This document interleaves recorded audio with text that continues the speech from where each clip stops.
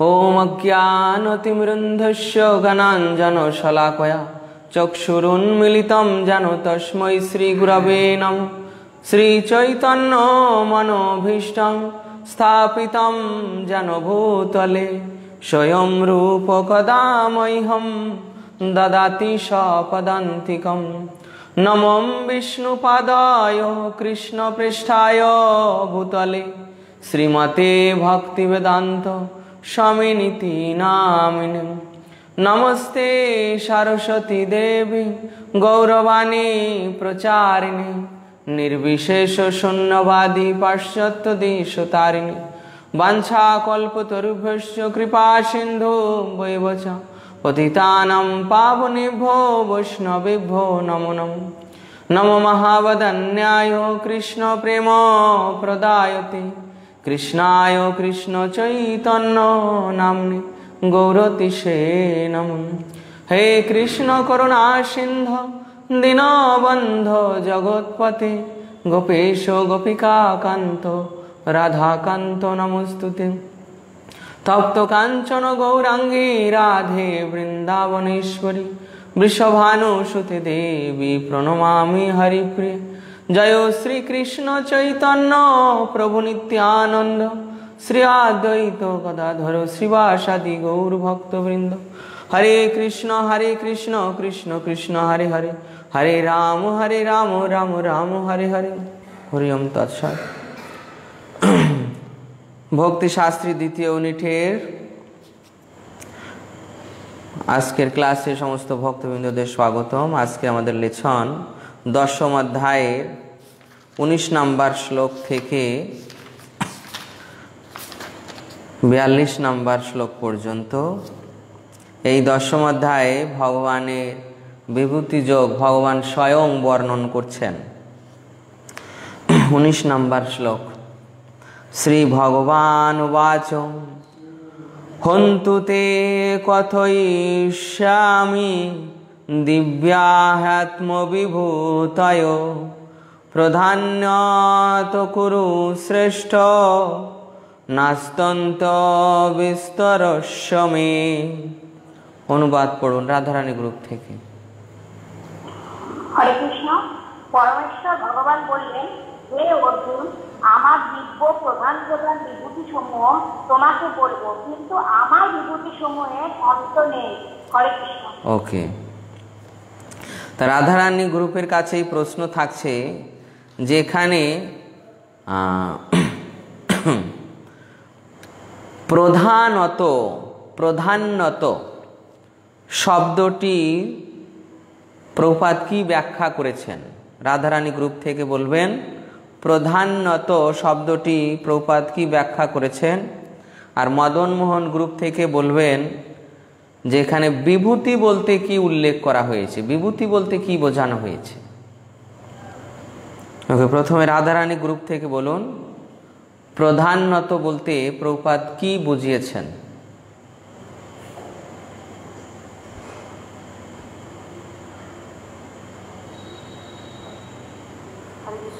আচ্ছা বলুন। এখানে প্রধানত বলতে প্রাধান্যত বলতে প্রধান বোঝানো হয়েছে। এই কথাটি অত্যন্ত গুরুত্বপূর্ণ। কারণ এখানে প্রাকৃত অপ্রাকৃত সমগ্র সৃষ্টিতে ব্যর্থ হয়েছে ভগবানের অন্তহীন অচিন্তনীয় শক্তি ও বৈভব। শ্রীকৃষ্ণ এতই মহান এবং তার সাধারণ বৈভবের প্রকাশ এতই সীমাহীন যে আমরা তা ধারণাও করতে পারি না। তাই শ্রীকৃষ্ণ এখানে কেবল তার প্রধান কিছু শক্তির প্রকাশের কথা বর্ণনা করতে সম্মত হয়েছে।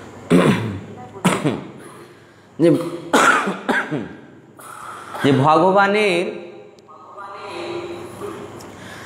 শক্তির বৈচিত্র্য অনন্ত।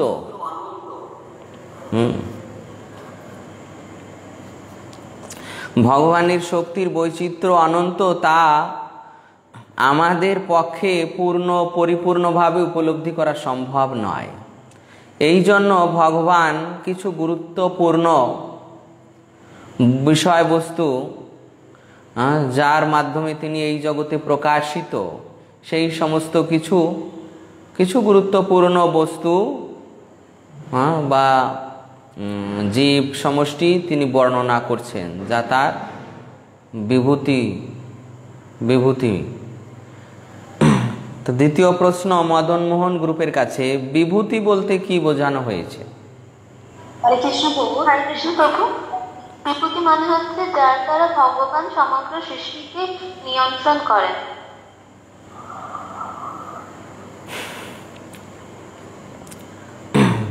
বিভূতি।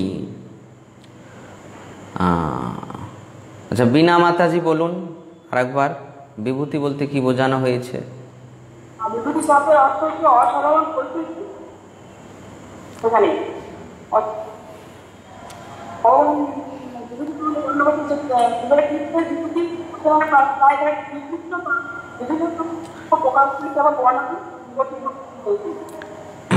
দেখুন, বিভূতি শব্দের অর্থ হচ্ছে অসাধারণ ঐশ্বর্য।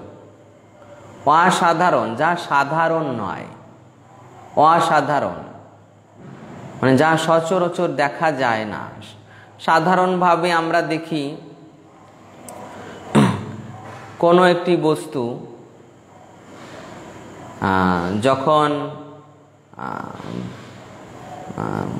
একটি বস্তুর পাশে অপরে উৎকৃষ্ট একটি বস্তু দেখা যায়, মনে করুন একটি পর্বতের পাশে আরেকটি পর্বত, তারপর একটি সমুদ্রের পাশে আরেকটি সমুদ্র, একটি বৃক্ষের পাশে আরেকটি বৃক্ষ, দেখা যায় যে দুটির মধ্যে কোনো না কোনো একটিতে বিশেষ বিশেষত্ব আছে। বিশেষ বিশেষত্ব।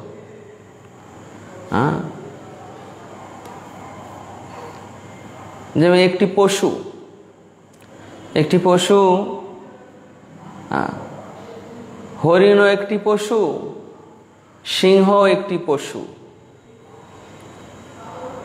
এই দুটির মধ্যে কার বিশেষত্ব বেশি? শক্তির দিক দিয়ে বীর্যের দিক দিয়ে, তেজস্বীতের দিক দিয়ে নিশ্চয় সিংহের শক্তি বেশি, বলবান তাই এই যে তার অসাধারণ ঐশ্বর্য, সাধারণ নয়, অন্যান্য সচরাচর প্রাণীর মধ্যে এই রকম শক্তি নেই? তারপর পক্ষীদের মধ্যে অনেক পক্ষী আছে অনেক পক্ষী তার মধ্যে গরুর, তার শক্তি অসাধারণ।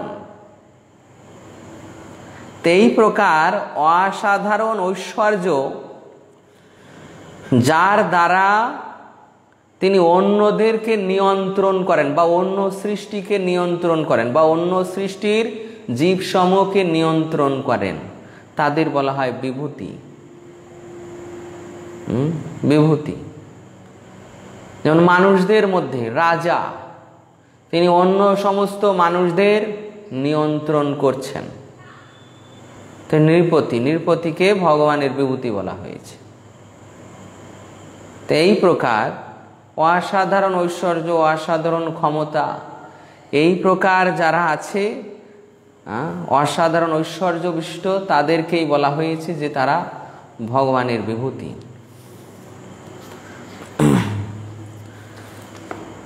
অহমাত্মা গুড়াকেশ সর্বভূতাশয় স্থিত অহমাদিশ্চ মধ্যম চ ভূতানাম নামন্ত এব চ। মদনমোহন গ্রুপ থেকে পড়ুন। আমি সমস্ত জীবের হৃদয়ে অবস্থিত পরমাত্মা।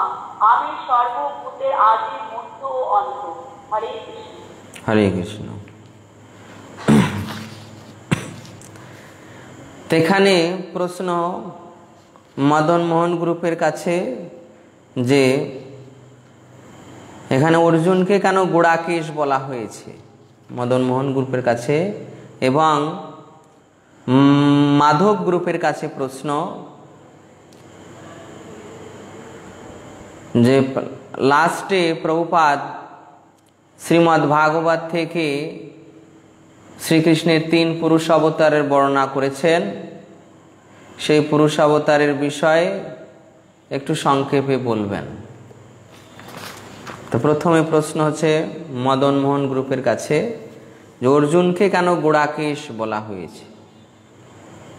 কৃষ্ণ এখানে অর্জুনকে গুড়াকেশ পদে সম্বোধন করা হয়েছে কারণ তিনি নিদ্রারূপী তামসকে জয় করেছিলেন। নিদ্রারূপী তামসকে জয় করেছেন, অর্থাৎ অজ্ঞানতাকে জয় করেছেন? অজ্ঞানতাকে জয় করেছেন। আবার নিদ্রাকেও জয় করেছেন। গোড়াকেশ মানে আমরা আগেই পেয়েছিলাম যে গোড়াকেশ, গোড়াকা, নিদ্রা নিদ্রা জয়ী আবার অজ্ঞানতাও জয়ী। তো অর্জুন নিদ্রা জয়ী এবং অজ্ঞানতা জয়ী তাই তাকে গোড়াকেশ বলা হয়েছে। আর মাধব গ্রুপ থেকে একজন বলবেন, যেখানে তিন পুরুষ অবতারের সামান্য বর্ণনা করবেন। শ্রীমৎ ভাগবত থেকে প্রপাদ উল্লেখ করেছেন। মাধব গ্রুপ থেকে।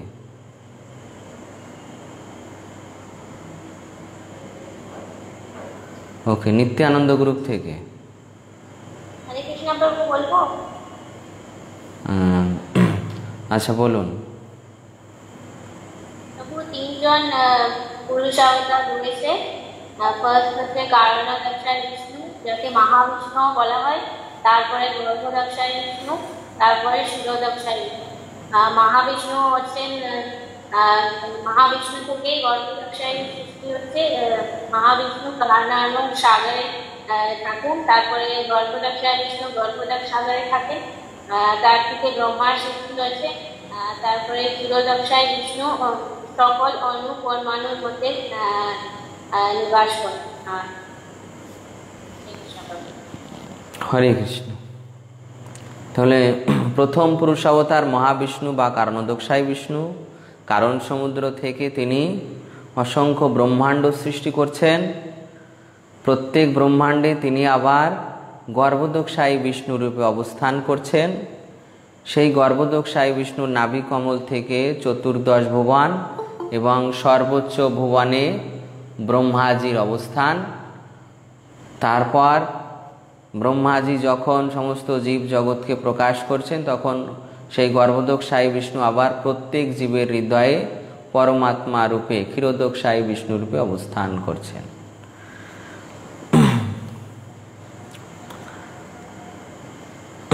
তা এরপর একবিংশ শ্লোক, একুশ নাম্বার শ্লোক থেকে শুরু হচ্ছে।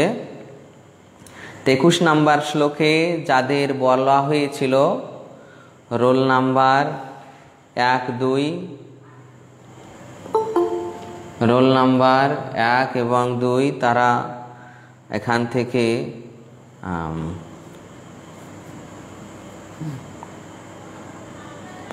যে বিভূতি, বিভূতির উল্লেখ করবেন এবং রোল নাম্বার তিন চার, বিভূতির কারণ বর্ণনা করবেন এবং কেন বিভূতি হয়েছে তা বর্ণনা করবেন। প্রথমে রোল নাম্বার ওয়ান টু। আদিত্যানামহম বিষ্ণুর জ্যোতিষাম রবিরংশুমান, মরিচির মরুতামস্মি নক্ষত্রা নামহম মরিচির মরুতামস্মি নক্ষত্রাণামহম শশী। আদিত্যদের মধ্যে আমি বিষ্ণু, জ্যোতিষ্কদের মধ্যে আমি কিরণশালী সূর্য, মরুদ্দের মধ্যে আমি মরিচি এবং নক্ষত্রদের মধ্যে আমি চন্দ্র।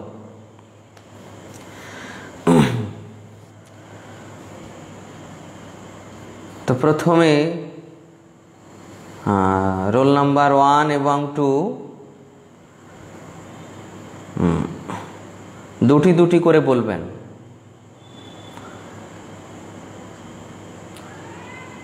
রোল নাম্বার ওয়ান একটু ব্যাখ্যা করব না শুধু বলব না ব্যাখ্যা করবেন না। যেমন করব না। হুম। আচ্ছা। এখানে ভগবান বলছেন আদিত্যদের মধ্যে আমি বিষ্ণু। আদিত্যদের মধ্যে আদিত্যটাও ব্যাখ্যা করব না প্রভু? আদিত্যকে আদিত্যকে। আদিত্য না বললে কিছু তো বলা হলো না। আদিত্য কি আদিত্য? আচ্ছা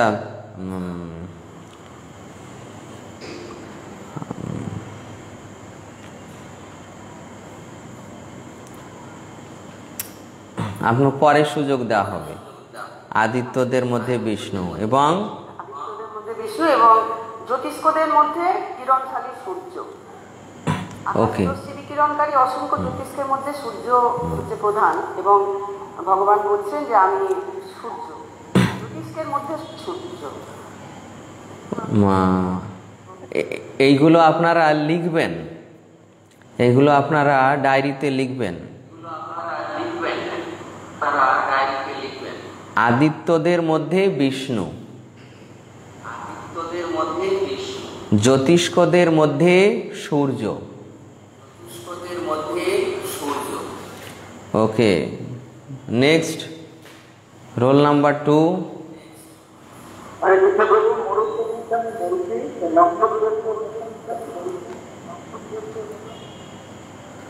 নক্ষত্র মধ্যে আমি মরিচি। এবং নক্ষত্রদের মধ্যে আমি চন্দ্র। চন্দ্র। ওকে এবার রোল নাম্বার থ্রি আছে।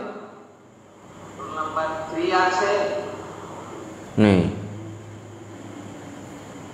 রোল নাম্বার থ্রি নেই। ঠিক আছে রোল নাম্বার এক।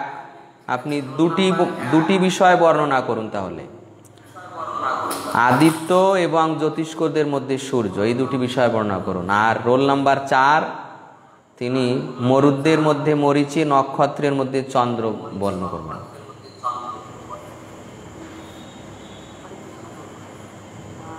আমাদের দ্বাদশ আদিত্য রয়েছে। তার মধ্যে ভগবান বলছেন তিনি বিষ্ণু। দ্বাদশ আদিত্য হচ্ছে আমাদের অদিতি গর্ভজাত। দ্বাদশ আদিত্য। নামগুলো বলব প্রভু? হ্যাঁ যদি জানা থাকে কয়েকজনের নাম বলতে পারেন। দ্বাদশ আদিত্য হচ্ছেন বিবর্ষণ অর্জমা উষা দশটা সবিতা ভগ হাতা বিধাতা বরুণ মিত্র শক্র অর্থাৎ ইন্দ্র এবং গুরুক্রম অর্থাৎ বিষ্ণু। ওকে দ্বাদশ দ্বাদশ আদিত্যের মধ্যে ভগবান হচ্ছেন বিষ্ণু। তাই- এই বিষ্ণু কে? কোন বিষ্ণু? এই বিষ্ণু হচ্ছেন গর্ভদক্ষায়ী বিষ্ণু না না না। আচ্ছা এই এই বিষ্ণুকে আমি প্রথম পুরুষ পুরুষাবতার বা মহাবিষ্ণু হতেই সব কিছু প্রকাশিত হয়। তাই তিনি মহৎ তত্ত্ব বা ব্রহ্মাণ্ডের উপাদানেরও আত্মা। না মাতাজি। এই বিষ্ণু হচ্ছে বামন দেব। এই বিষ্ণু হচ্ছে বামন দেব। জ্যোতিষ্কদের মধ্যে জ্যোতিষ্কদের মধ্যে আকাশের রশ্মি বিকিরণকারী অসংখ্য জ্যোতিষ্কের মধ্যে সূর্য হচ্ছে প্রধান। আর ব্রহ্মসংহিতায় সূর্যকে ভগবানের দ্যুতিময় চক্ষু বলে বর্ণনা করা হয়েছে। ওকে জ্যোতিষ্কদের মধ্যে আমি কিরণশালী সূর্য। যত জ্যোতিষ্ক রয়েছে তার মধ্যে কিরণশালী সূর্য আমি। এরপর রোল নাম্বার ফোর বলবেন বাকি দুটি কারণ। হ্যাঁ বলুন। ব্রহ্মাণ্ডে মোট রকমের বায়ু রয়েছে। তো সেই বায়ুগুলিকে নিয়ন্ত্রণ করছেন মরিচ মরিচি দেবতা। হ্যাঁ? যেহেতু তিনি সমস্ত রকমের বায়ুগুলিকে নিয়ন্ত্রণ করছেন তাই তিনি ভগবানের একটি বিভূতি। ওকে। তারপর? আর নক্ষত্রদের মধ্যে তিনি চন্দ্র। হ্যাঁ, নক্ষত্রদের মধ্যে ভগবানের বিভূতি হচ্ছে চন্দ্র। গীতায় সাত অধ্যায়ের আট নম্বর শ্লোকে বলেছেন ভগবান প্রভাস্মি শক্তি সূর্য হ্যাঁ যে চন্দ্রের প্রভা আলো, সেটা আমি একই কথা তিনি পনেরো অধ্যায়ের গীতায় বারো নম্বর শ্লোকে বলেছেন যত চন্দ্রমসি যচ্চাগ্ন অর্থাৎ চন্দ্রের তেজ বা অগ্নি, আমি। চাণক্য পণ্ডিত চন্দ্র সম্পর্কে বলেছেন এক চন্দ্র তম হন্তি নচ শতস্থ তারা গণৈরপি অর্থাৎ একটি চন্দ্র এই ব্রহ্মাণ্ডের রাতের অন্ধকার দূর করতে পারে, যেখানে শত শত তারারাও তা পারে না। চন্দ্র সম্পর্কে বলা হয়েছে, ভগবান বলেছেন গীতায় পনেরো অধ্যায়ে তেরো নম্বর শ্লোকে কুষ্ণামি চৌষধি সর্বা সমবুদ্ধ রসাত্মক। অর্থাৎ এই জগতে যত রকমের ঔষধি আছে, সেই সব ঔষধির পুষ্টি সাধন করেন এই চন্দ্রের তেজ চন্দ্রের তেজ বা আলো। এবং নক্ষত্রদের আলো হচ্ছে স্নিগ্ধ। তার মধ্যে চন্দ্রের আলো হচ্ছে স্নিগ্ধতম। তাই চন্দ্র ভগবানের একটি বিভূতি। হরে কৃষ্ণ। ভালো হয়েছে। এরপর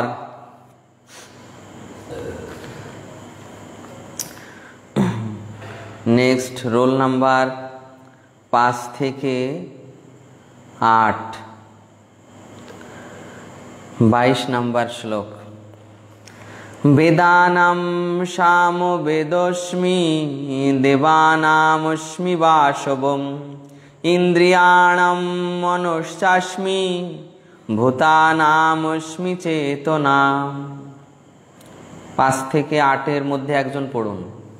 রোল নাম্বার পাঁচ থেকে আটের মধ্যে একজন পড়ুন। হরে কৃষ্ণ প্রভু আচ্ছা পড়ুন। সমস্ত সমস্ত বেদের মধ্যে আমি সামবেদ সমস্ত দেবতাদের মধ্যে আমি ইন্দ্র সমস্ত ইন্দ্রিয়ের মধ্যে আমি মন এবং সমস্ত প্রাণীদের মধ্যে আমি চেতনা। হরে কৃষ্ণ প্রভু। হরে কৃষ্ণ। তো প্রথম দুইজন রোল নাম্বার পাঁচ এবং ছয়। রোল নাম্বার পাঁচ। এখানে ভগবানের দুটি বিভূতি আপনি বর্ণনা করুন দুটি বিভূতি।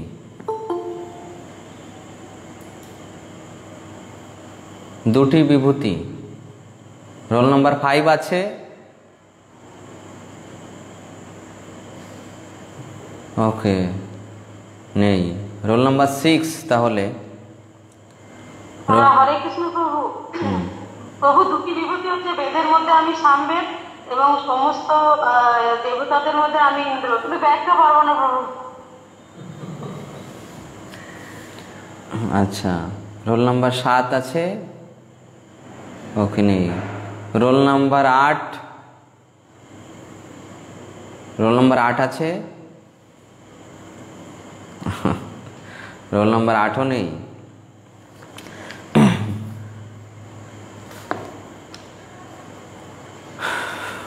তো রোল নাম্বার ছয়, একজনই আছে, ঠিক আছে। সমস্ত বেদের মধ্যে আমি সামবেদ সমস্ত দেবতাদের মধ্যে আমি ইন্দ্র। সমস্ত ইন্দ্রিয়ের মধ্যে আমি মন এবং সমস্ত প্রাণীদের মধ্যে আমি চেতনা। তো প্রথমে হচ্ছে, সমস্ত বেদের মধ্যে আমি সামবেদ। কেন সামবেদ? কেননা এই সামবেদে বৃহৎ শাম একটি শাখা আছে যার দ্বারা ভগবানের এই শ্রী বিষ্ণুর খুব সুন্দর সুরে সামবেদ এটা গানের মাধ্যমে গাওয়া হয়। এই বৃহৎ শাম এই শাখায় ভগবানের খুব সুন্দরভাবে গুণগান করা হয়। তাই সমস্ত বেদের মধ্যে ভগবানের বিভূতি হচ্ছে সামবেদ। সমস্ত দেবতাদের মধ্যে আমি ইন্দ্র। কেননা ইন্দ্র হচ্ছে রাজা। সমস্ত দেবতাদের রাজা। এবং সব থেকে ঐশ্বর্যশালী হচ্ছে ইন্দ্র। ক্ষমতা বেশি, তারপর ঐশ্বর্য বেশি, সব দিক দিকে ইন্দ্র শ্রেষ্ঠ, ইন্দ্র রাজা। তাই দেবতাদের মধ্যে ইন্দ্র হচ্ছেন ভগবানের বিভূতি। অসাধারণ ঐশ্বর্য। সমস্ত ইন্দ্রিয়ের মধ্যে আমি মন। কেন মন? কেননা অন্য যে ইন্দ্রিয় আছে, এই ইন্দ্রিয়গুলোকে মনই নিয়ন্ত্রণ করতে পারেন। মন হচ্ছে তাদের রাজা। সমস্ত ইন্দ্রিয়, একাদশ ইন্দ্রিয় আছে। একাদশ ইন্দ্রিয়ের রাজা হচ্ছে মন? একাদশ ইন্দ্রিয়ের রাজা হচ্ছে মন মন যদি কন্ট্রোলে থাকে, তাহলে অন্যান্য ইন্দ্রিয়গুলোও কন্ট্রোলে থাকবে। সমস্ত প্রাণীদের মধ্যে আমি চেতনা। হ্যাঁ? এই যে চেতনা, এই চেতনা কোথায় থাকে? কেউ বলতে পারবেন, এই চেতনা কোথায় থাকে? সমস্ত প্রাণীদের। ওকে ওকে। হ্যাঁ। এই চেতনা এই চেতনা আত্মার বাইরে অবস্থান করে। আত্মায় অবস্থান করে বলা যায়। যে মা- সমগ্র সমস্ত জীবের যে সূক্ষ্ম দেহ মন বুদ্ধি অহংকার মন বুদ্ধি অহংকার এই সূক্ষ্ম দেহ। সূক্ষ্ম দেহের ভিতরে আত্মা, আত্মার বাইরের আবরণ হচ্ছে এই চেতনা। হ্যাঁ? তা এই যে চেতনা, এই চেতনা যার যত উন্নত, সে তত উন্নত স্তরের জীব। তাই এই চেতনার ভিত্তিতেই একজন জীবের উন্নত অনুন্নতার নির্ধারণ করা হয়। তাই এই চেতনা হচ্ছে কি ভগবানের বিভূতি। এরপর নবম নয় দশ এগারো বারো। Roll number nine, ten, eleven, twelve. বলবেন, তেইশ নাম্বার শ্লোক থেকে। রুদ্রাণাম শঙ্করশ্চাস্মি বিত্তেশ যক্ষ রক্ষসাম বসুনাম পাবকশ্চাস্মি মেরু শিখরি নামহম একজন পড়ুন অনুবাদ এই নাইন টেন ইলেভেন টুয়েলভ থেকে একজন পড়ুন। আচ্ছা পড়ুন। শুক্ল যক্ষ রাক্ষসদের মধ্যে আমি কুবের, বসুদের মধ্যে আমি অগ্নি এবং পর্বতমের মধ্যে আমি Sumeru Hare Krishna. Okay nine ten eleven twelve roll number nine roll number nine দুটি বিভূতি বর্ণনা করুন।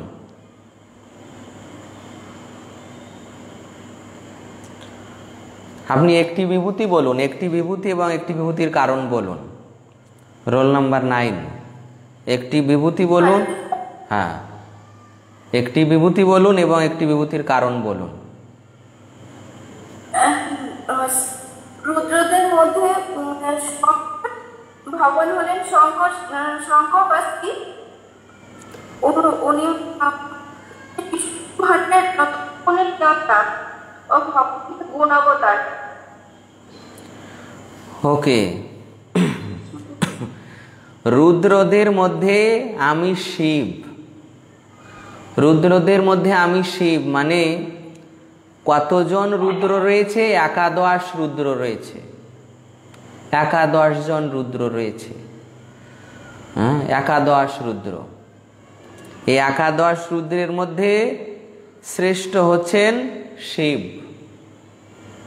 হ্যাঁ, শিব। এবং তাকে বলা হয়েছে যে ভগবানের গুণাবতার।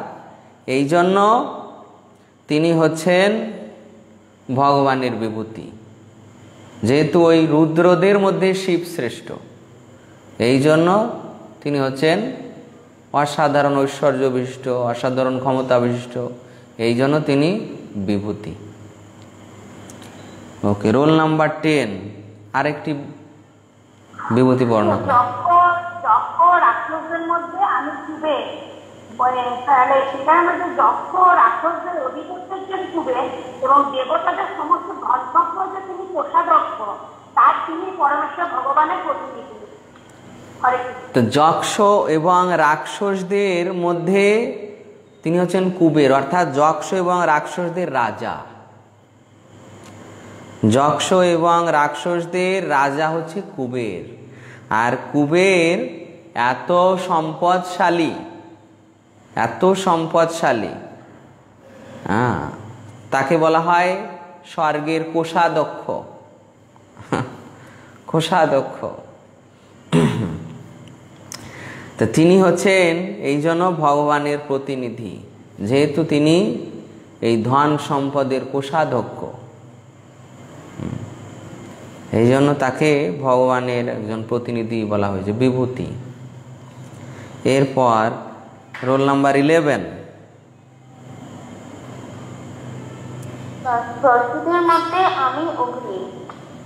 বসুদের মধ্যে আমি অগ্নি। কেন বসুদের মধ্যে তিনি অগ্নি? বলতে পারবেন? এখানে যদিও নেই। ব্যাখ্যা, ঠিক আছে? বসুদের মধ্যে তিনি অগ্নি। হ্যাঁ? যে, এই যে অষ্ট বসু বসু কত, কয়জন? আটজন। আটজন বসু, অষ্ট বসু এটা তো আপনারা দ্বিতীয় ভাগে হয়তো পড়ে থাকবেন, অষ্ট বসু। তো এই বসু হচ্ছে আটজন আটজনের মধ্যে শ্রেষ্ঠ হচ্ছে অগ্নি। ওকে, এরপর রোল নাম্বার বারো, টুয়েলভ।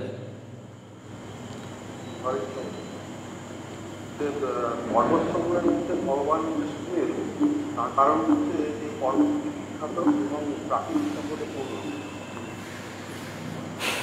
এই যে এখানে বলা হচ্ছে যে মেরু শিখরি নামহম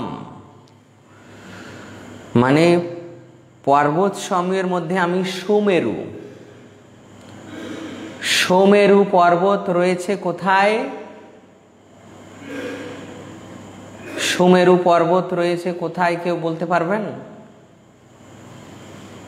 হ্যাঁ, কোন গ্রুপ থেকে কেউ বলতে পারবেন সুমেরু কোথায় রয়েছে?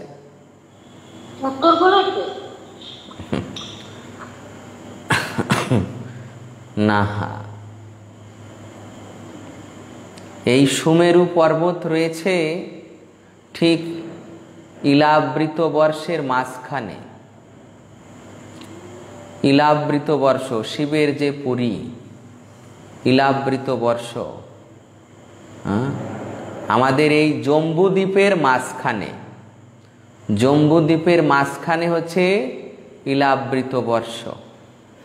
আর সেই ইলাবৃত বর্ষের মাঝখানে হচ্ছে এই সুমেরু পর্বত, যার যে মাটির নিচ থেকে উপর পর্যন্ত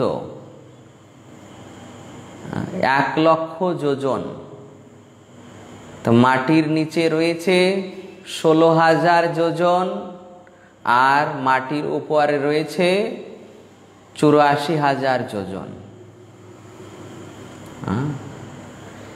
সেই সুমেরু পর্বতের, আর ওই যে চুরাশি, মাটির উপরে রয়েছে চুরাশি হাজার যোজন চুরাশি হাজার যোজনের আর ষোলো আর ষোলো ওর সঙ্গে যোগ করলে হচ্ছে এক লক্ষ যোজন। ওই এক লক্ষ যোজন উপর দিয়ে সূর্য চলাচল করে। তো এই সুমেরু পর্বত, এটা পুরো স্বর্ণের পর্বত। হ্যাঁ এই সুমেরু পর্বত পুরো স্বর্ণের। পুরো স্বর্ণের পর্বত। ইলাবৃত বর্ষের মাঝখানে। এই জন্য এই পর্বত প্রাকৃতিক সম্পদে পরিপূর্ণ। যেখানে বুঝতে পারছেন যে পুরো পর্বতটাই স্বর্ণের। হ্যাঁ তাহলে কেমন প্রাকৃতিক সম্পদ, ঐশ্বর্য ঐশ্বর্য তার মধ্যে রয়েছে। তো এই জন্য সুমেরু পর্বতকে ভগবানের বিভূতি বলা হয়েছে।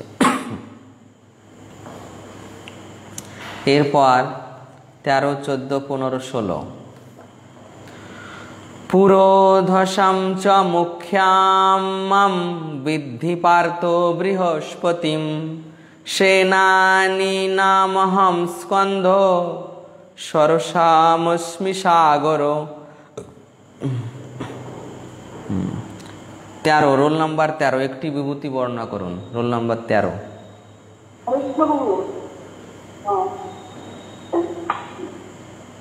পুরোহিতদের মধ্যে আমি প্রধান বৃহস্পতি কেন?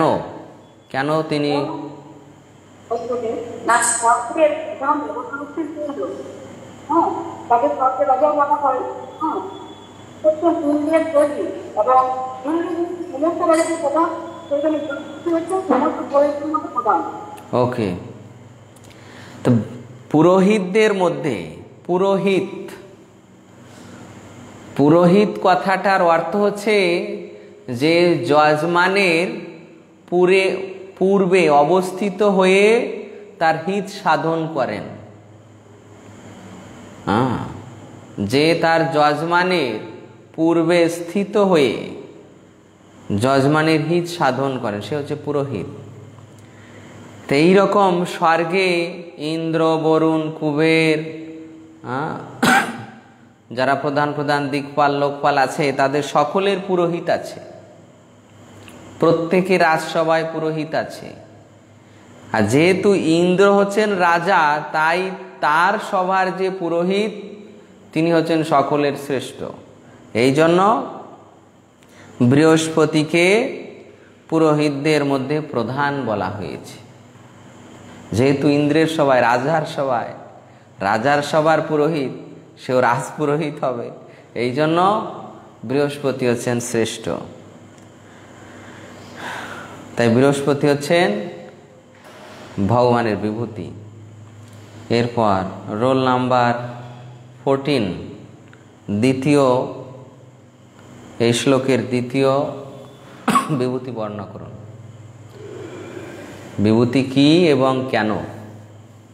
রোল নাম্বার ফোরটিন আছে?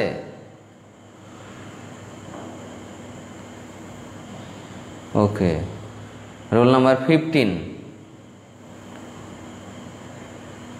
roll number পনেরো।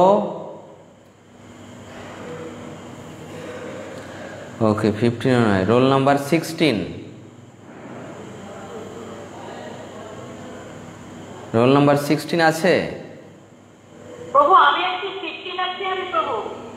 আচ্ছা রোল নাম্বার বল বলতে পারবেন? আমি বলছি হ্যাঁ বলুন। হ্যাঁ বলছি প্রভু হরিকৃষ্ণ প্রভু বলছি। সেনাপতিদের মধ্যে আমি হচ্ছি কার্তিক। এখানে শিব পার্বতীর এই পুত্র হচ্ছে স্কন্দ সমস্ত সেনাবর্গের মধ্যে প্রধান হচ্ছেন কার্তিক। সমস্ত দেবদেবীদেরও উনি সেনাপতি। তাহলে সেনাপতি সেনাপতিদের মধ্যে আমি কার্তিক। মানে স্বর্গে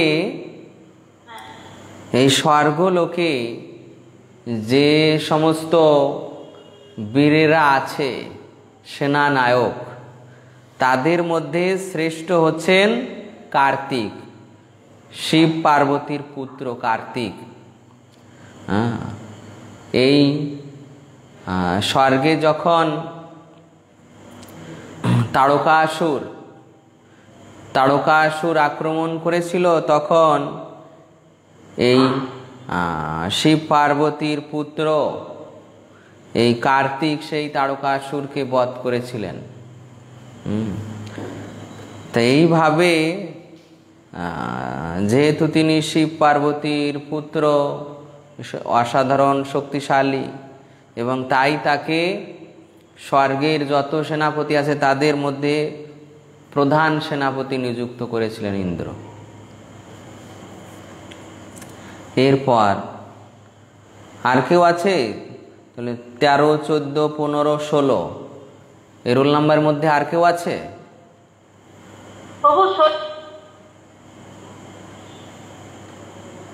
ষোলো নাম্বার আছে রোল নাম্বার ষোলো সিক্সটিন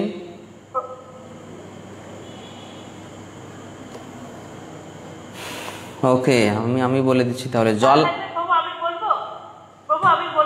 দেবো আমি বলব। আচ্ছা বলুন। বলছে যে জলাশয়ের মধ্যে আমি হচ্ছে সাগর। এখানে বলছে যে সমস্ত জলাশয়ের মধ্যে সমুদ্রই হচ্ছে প্রধান। শ্রীকৃষ্ণ এই অভিব্যক্তিগুলি হচ্ছে তার মহাত্মাদের মধ্যে ইঙ্গিত করেছে এখানে। সমস্ত জলাশয়ের মধ্যে সমুদ্রই হচ্ছে প্রধান। জলাশয়ের মধ্যে ভগবানের বিভূতি হচ্ছে সমুদ্র মানে সাগর। সাগর অর্থাৎ এই সাগর কেন? কেননা এই সাগর যত জলাশয় আছে, তার মধ্যে মানে বৃহতের দিক থেকে শ্রেষ্ঠ। যত জলাশয় আছে, তার মধ্যে বৃহতের দিক দিয়ে সমুদ্র বা সাগর শ্রেষ্ঠ। বৃহৎ। এবং সাগরে সমস্ত জলাশয়ের মিলনস্থান। হ্যাঁ। তো এইভাবে সমুদ্র হচ্ছে ভগবানের বিভূতি। সমুদ্র এত বিশাল। তারপর সমস্ত নদ নদীদের সমস্ত নদ নদী মিলিত হয়। তারপর সমুদ্রে অতল জলরাশি। একটা নদীর জলরাশিকে মাপা যায়, কিন্তু সমুদ্রকে সহজে পরিমাপ করা যায় না। এরপর roll number seventeen eighteen nineteen, twenty.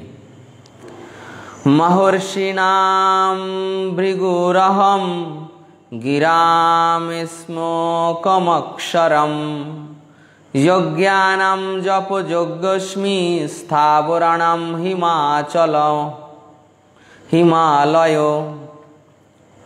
পড়ুন এই সতেরো, আঠারো, উনিশ, কুড়ি এই চারজন থেকে একজন পড়ুন। হরে কৃষ্ণ প্রভু পড়ুন মধ্যে বিঘু বাক্য সুকুমার মধ্যে আমি নমস্কার যোগ্য সুকুমার মধ্যে আমি যোগ্য যোগ্য এবং স্থাবর বস্তুর মধ্যে আমি ওকে আচ্ছা আপনারা সকলে এই বিভূতিগুলো লিখছেন তো আমি লিখতে বলেছিলাম। হ্যাঁ ওকে তাহলে মহর্ষিদের মধ্যে আচ্ছা রোল নাম্বার সেভেন্টিন বলুন একটা একটা বিভূতি উল্লেখ করুন এবং কারণ বলুন। রোল নাম্বার সেভেন্টিন হ্যাঁ একটা বিভূতি উল্লেখ করুন এবং কেন সেই কারণটি উল্লেখ করুন। আচ্ছা এই ব্রহ্মাণ্ডের প্রথম জীব হচ্ছে মহর্ষিদের মধ্যে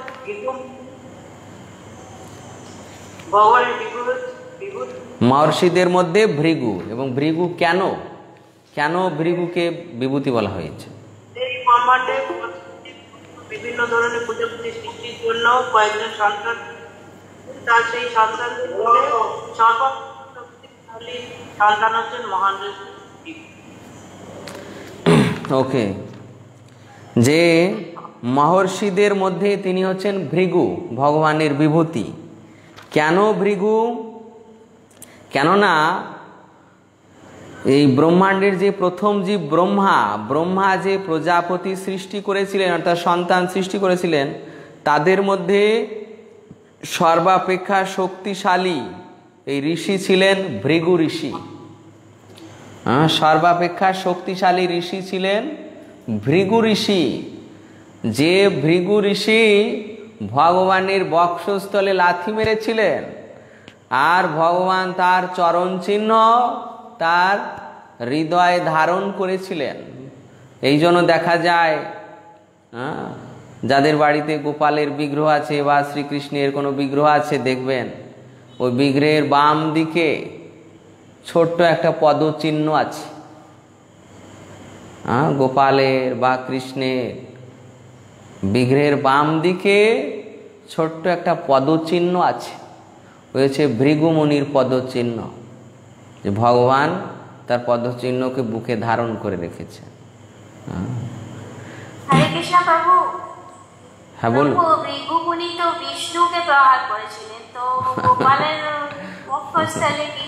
সেই গোপালই তো বিষ্ণু তত্ত্ব বুঝতে পেরেছেন? গোপাল কি বিষ্ণু তত্ত্ব থেকে ভিন্ন নাকি? বিষ্ণু একজন ভগবান আর গোপাল আর একজন ভগবান, এরকম ভিন্ন নাকি? ভিন্ন নয়। কৃষ্ণ, বিষ্ণু ভিন্ন নয়, কৃষ্ণেরই প্রকাশ। কৃষ্ণেরই প্রকাশ। হ্যাঁ।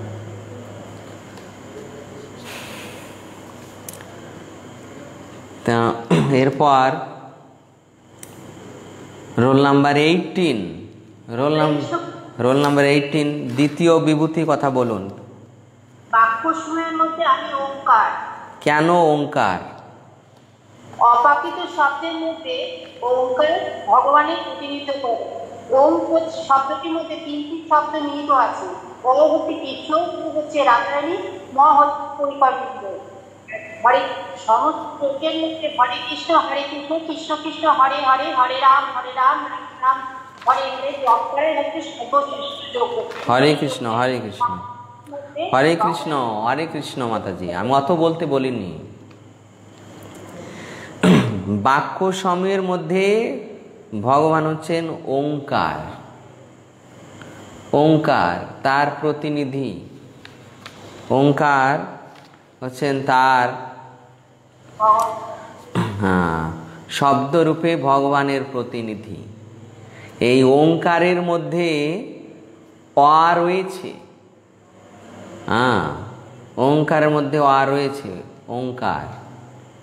সেই অ হচ্ছে তিনি। এটা পরবর্তীতে আসবে। যাই হোক।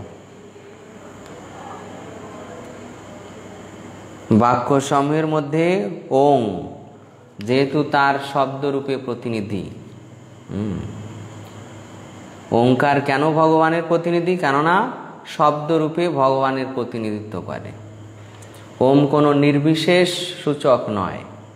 ওম সবিশেষ সূচক।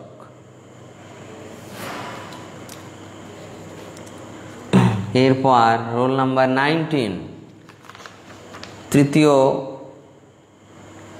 তৃতীয় বিভূতি বর্ণনা করুন। Roll number nineteen okay twenty টোয়েন্টিও নেই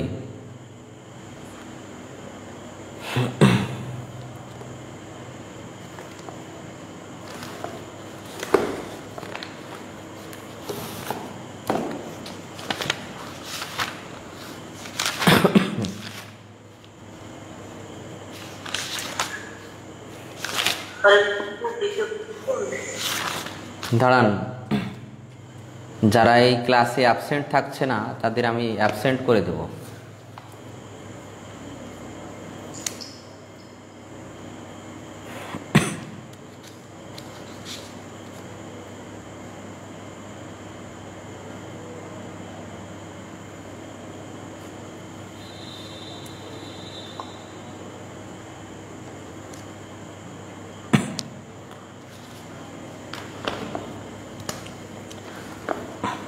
Roll number ninety nine twenty nine okay তাহলে এই শ্লোকে বলা হয়েছে যে মহর্ষিদের মধ্যে আমি ভৃগু বাক্য সময়ের মধ্যে ওঙ্কার যজ্ঞ সময়ের মধ্যে আমি জপযোগ্য জপযোগ্য তো যজ্ঞ সময়ের মধ্যে আমি জপযোগ্য জপযোগ্য কেন? জপযোগ্য কেন? না, এই সমস্ত যজ্ঞের মধ্যে তিনি হচ্ছেন জপযোগ্য মানে এই যজ্ঞই শ্রেষ্ঠ। যত প্রকার যজ্ঞ রয়েছে, তার মধ্যে এই জপযজ্ঞ শ্রেষ্ঠ। হ্যাঁ এই যে মহামন্ত্র, হরে কৃষ্ণ হরে কৃষ্ণ কৃষ্ণ কৃষ্ণ, হরে হরে হরে রাম হরে রাম রাম রাম, হরে হরে। এই হচ্ছে সর্বশ্রেষ্ঠ যজ্ঞ, কারণ এই মহামন্ত্র হচ্ছে শ্রীকৃষ্ণের সবচেয়ে পবিত্র প্রতীক। অন্যান্য যজ্ঞ, সেখানে স্থান, কাল, পাত্র, বিচার রয়েছে। হ্যাঁ তারপর পশু বলি দেওয়ার বিধান রয়েছে, হিংসা, হিংসাত্মক কার্য করার বিধান রয়েছে। কিন্তু এই যে মহামন্ত্র জপ জপ যজ্ঞ, এ সবচেয়ে সরলতম এবং পবিত্র যজ্ঞানুষ্ঠান এবং এই যজ্ঞানুষ্ঠান করতে কোনো স্থান কাল পাত্রের বিচারের প্রয়োজন হয় না। তো এইভাবে এই মহামন্ত্র হচ্ছে সমস্ত যজ্ঞের মধ্যে শ্রেষ্ঠ যজ্ঞ জপযজ্ঞ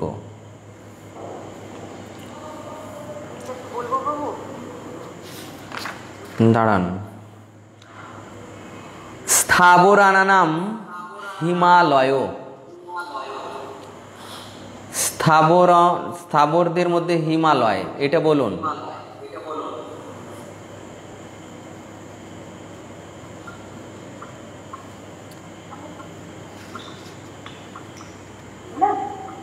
স্থাবরদের মধ্যে হিমালয়।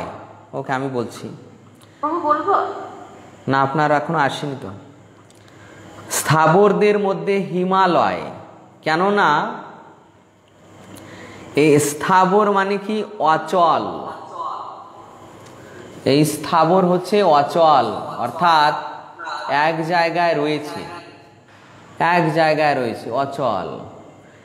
তো এই যে অচল, এই জন্যই হ্যাঁ এর বৈশিষ্ট্য যে যে এই হিমালয়কে ভগবান তার বিভূতি হিসেবে উল্লেখ করেছেন।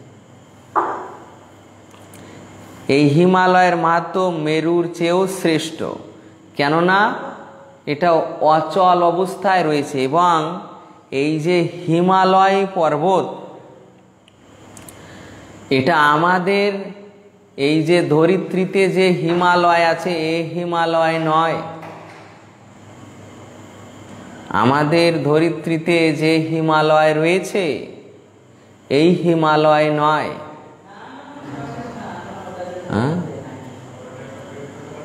সেটা আমি চিত্রে দেখাবো। আমাদের এই ভারতবর্ষ, এই ভারত দেশ নয়, ভারতবর্ষ। ভারতবর্ষে নয়টি খণ্ড, নয়টি খণ্ডের মধ্যে একটি খণ্ড হচ্ছে পৃথিবী। বুঝতে পেরেছেন?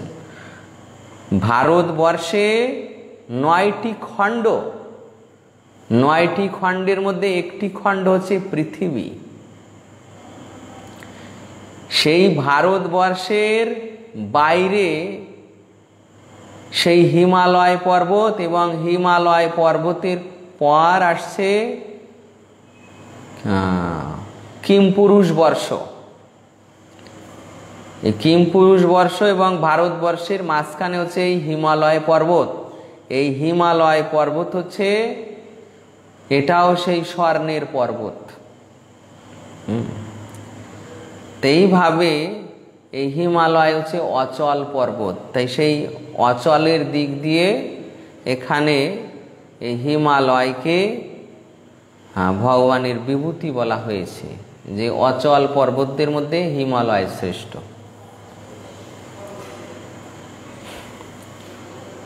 অস, এরপর একুশ বাইশ তেইশ চব্বিশ twenty one twenty two twenty three twenty four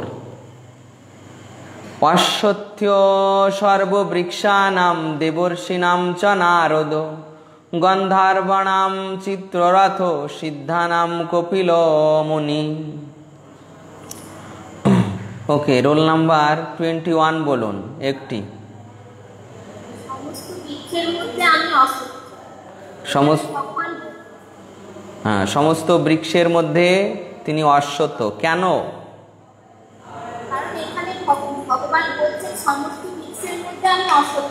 আমরা জানি সমস্ত ভগবানের যেহেতু তিনি অবস্থান করে আছেন এই সকলের মধ্যে। অসত্য গাছের মধ্যে এবং সবচেয়ে বিশাল। আমরা ভারতীয়রা এই গাছকে ভগবানের মতো পুজো করে থাকি এবং প্রত্যেকদিন জল। তাছাড়া এমনকি তাছাড়া সকলের পশু পাখিরাও এই গাছের আশ্রয় থাকে। এমনকি মানুষও গরমকালে এর মধ্যে আশ্রয় নিয়ে থাকে। যেহেতু অসুস্থ গাছের প্রধান এবং সবচেয়ে সুন্দর তাই ভগবান বলেছেন এই গাছের মধ্যে আমি সর্বশ্রেষ্ঠ এবং আমি অসুস্থ অশ্বত্থ অশ্বত্থ গাছ চেনেন আপনারা? ওকে। অশ্বত্থ গাছ। এটা সব থেকে বড় হয় সব থেকে বিস্তৃত হয়।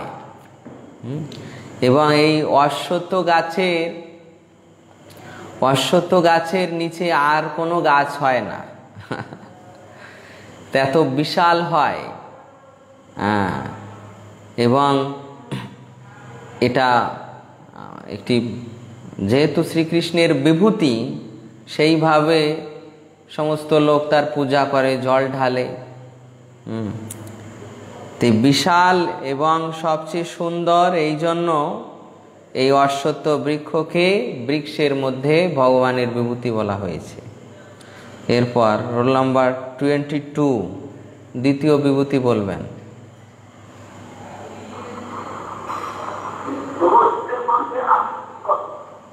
দেবর্ষীদের।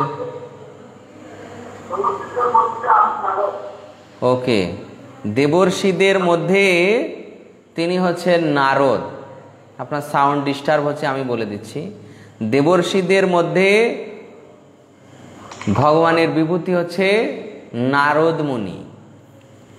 কেননা এই এই যে দেবর্ষি শুধু নারদ মুনি একাই নয়, দেবর্ষি মানে হচ্ছে দেব প্লাস ঋষি দেবর্ষি। হ্যাঁ?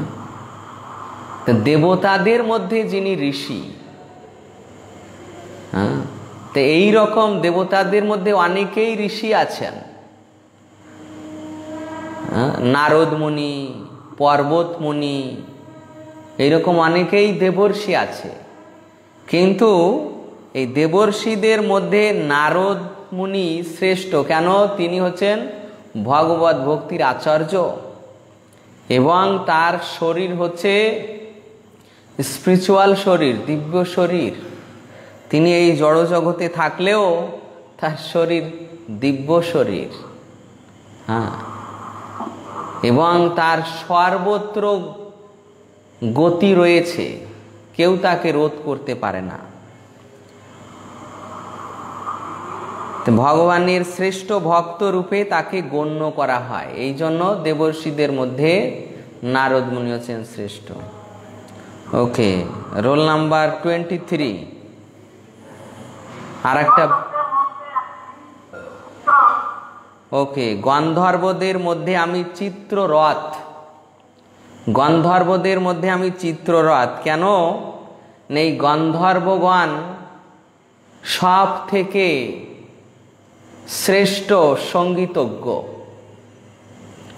হ্যাঁ? এই গন্ধর্ব তাদেরই বলা হয় যারা সব থেকে ভালো গায়ক, স্বর্গলোকের গায়ক স্বর্গলোকের গায়ক, তাই তারা শ্রেষ্ঠ গায়ক। আর এই শ্রেষ্ঠ গায়কদের মধ্যে শ্রেষ্ঠ হচ্ছেন চিত্ররথ হ্যাঁ স্বর্গলোকের গায়করা শ্রেষ্ঠ, গন্ধর্ব। তাদের মধ্যে শ্রেষ্ঠ অর্থাৎ স্বর্গলোকের গন্ধর্বদের মধ্যে শ্রেষ্ঠ হচ্ছে চিত্ররথ তা- তিনি এমন সঙ্গীতজ্ঞ। এরপর রোল নাম্বার টোয়েন্টি ফোর। ভগবান বলেছেন আমি সমস্ত সিদ্ধদের মধ্যে আমি কপিল মুনি কারণ দেবাহুতি নন্দন কপিলদেব বলেছেন কপিলদেব হচ্ছেন মুনিদের মধ্যে শ্রেষ্ঠ এবং তিনি ভগবানের প্রতিনিধি। এবং তাকে ভগবানের অবতারও বলা হয়। এবং সমস্ত উল্লেখ আছে তার দর্শনের কথা উল্লেখ আছে। ওকে বলেছেন।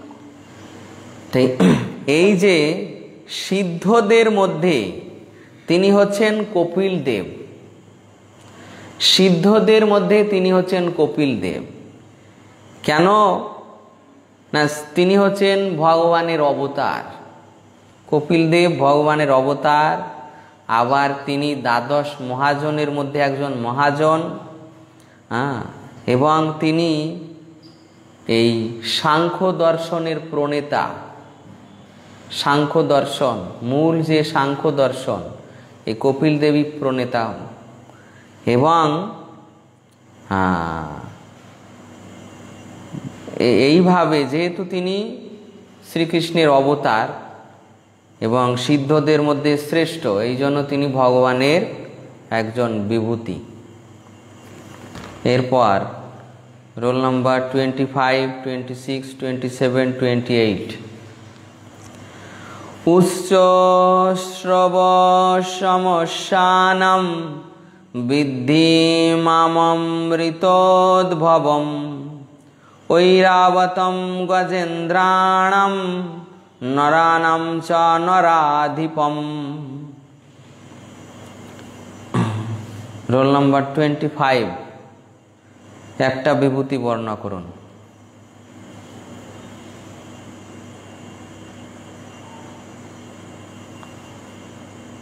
Twenty six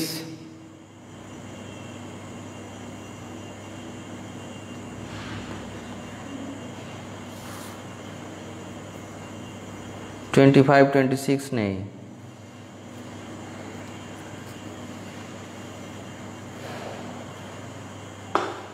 টোয়েন্টি সেভেন ও, আছে? আচ্ছা বলুন। হুম। উচ্চশ্রবা নামক অশ্ব। কেন? উচ্চশ্রবাকে ভগবানের বিভূতি বলা হয়েছে। হ্যাঁ বিভূতি বলা হয় কারণ হচ্ছে দেবতা সূর্যের মধ্যে যখন সমুদ্র মন্থন করেছিলেন তখন অমৃত বিষ উঠেছিল তখন মহাদেব ওই বিষ কণ্ঠে ধারণ করেছিলেন। কণ্ঠে ধারণ করে জগৎকে রক্ষা করেছিলেন এবং অমৃত ওই বিষ থেকে এই উচ্চশ্রবণ নামক এই অনেক কিছু উঠেছিল তার মধ্যে নামক অশ্ব আগে। Okay twenty six twenty twenty seven twenty seven আছে। টোয়েন্টি এইট আচ্ছা বলুন। একটি বিভূতির বর্ণনা করুন।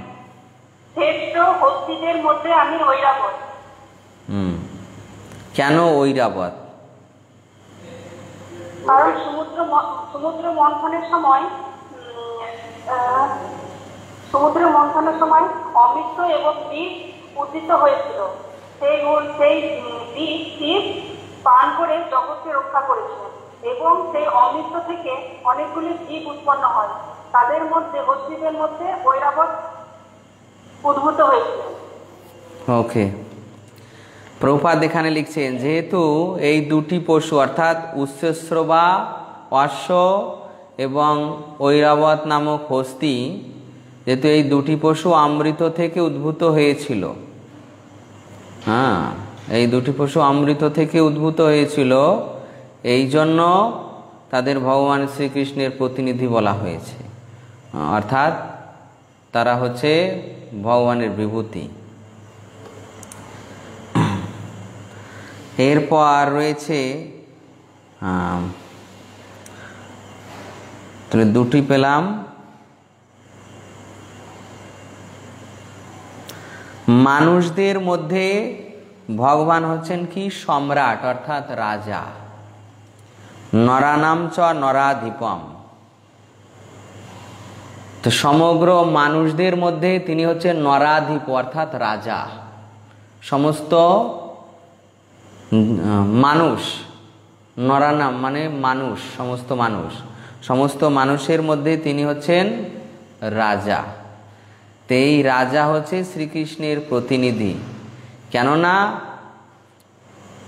এই যে রাজা, তিনি অন্য সমস্ত প্রজাদের কন্ট্রোল করেন যারা দুর্বৃত্ত তাদের নিয়ন্ত্রণ করেন এবং প্রজাদের রক্ষক করেন, পালনের সঙ্গে সঙ্গে রক্ষাও করেন। আর দুষ্টদের তিনি দণ্ডদান করেন। তো এইভাবে রাজা হচ্ছে প্রজাদের রক্ষক। তো সেই হিসাবে এখানে রাজাকে ভগবানের প্রতিনিধি বলা হয়েছে? অর্থাৎ ধর্মপরায়ণ রাজা, শুধু রাজা নয়, ধর্মপরায়ণ রাজা হ্যাঁ ধর্মপরায়ণ রাজা। যেমন শ্রীরামচন্দ্র মহারাজ যুধিষ্ঠির মহারাজ পরীক্ষিত। এই প্রকার ধর্মপরায়ণ রাজারাই হচ্ছেন ভগবানের প্রতিনিধি, ভগবানের বিভূতি। কোনো রাজা নিজে দুর্বৃত্ত জনসাধারণের শোষক, জনসাধারণের অত্যাচারকারী, সেই রাজা কখনো ভগবানের প্রতিনিধি নয়, ভগবানের বিভূতি নয়। যে রাজা ধর্মপরায়ণ, প্রজাদের রক্ষক, পালক, দুর্বৃত্তদের দণ্ডদানকারী ধর্মের শাসন অনুযায়ী যিনি চলেন সেই রাজাই হচ্ছে শ্রীকৃষ্ণের প্রতিনিধি। এরপর, roll number twenty nine, thirty thirty one, thirty two. Twenty nine thirty thirty one thirty two বজ্রম ধেনূনামস্মি কামধুক প্রজনশ্চাস্মি কন্দর্প সর্পণামস্মি বাসুকিং অনন্তশ্চাস্মি নাগানম বরুণো যাদশামহম পিতৃণামর্যমা চাস্মি যম সংযমতামহম। হরে কৃষ্ণ প্রভু আমার একটা কথা বলার ছিল। প্রভু আমি একটু না বাইরে আছি হ্যাঁ? তো আমি আপনাকে আমি যদি নাম নাম্বার রোল নাম্বারটা পেরিয়ে যাই তো আমি আপনাকে পরে অ্যান্সারটা করলে হবে? ঠিক আছে। দেশের বাড়িতে আছি প্রভু। ঠিক আছে। ঠিক আছে। তাহলে roll number ninety twenty nine thirty thirty one thirty two এখানে এক একজন দুটি করে বলবেন। Roll number twenty nine twenty nine আছে রোল নাম্বার হ্যাঁ দুটি বিভূতি বর্ণনা করুন। সমস্ত অস্ত্রদের মধ্যে আপনি বজ্র অসীম শক্তিশালী অস্ত্র বজ্র ও শ্রীকৃষ্ণের প্রতিনিধিত্ব করেন। না বলছে, গাভীদের মধ্যে আমি কাম ধেলে তিনময় জগতে গাভীদের দহন করলে ইচ্ছা মতো দুধ পাওয়া যায়। এই গাভীগুলিকে বলা হয়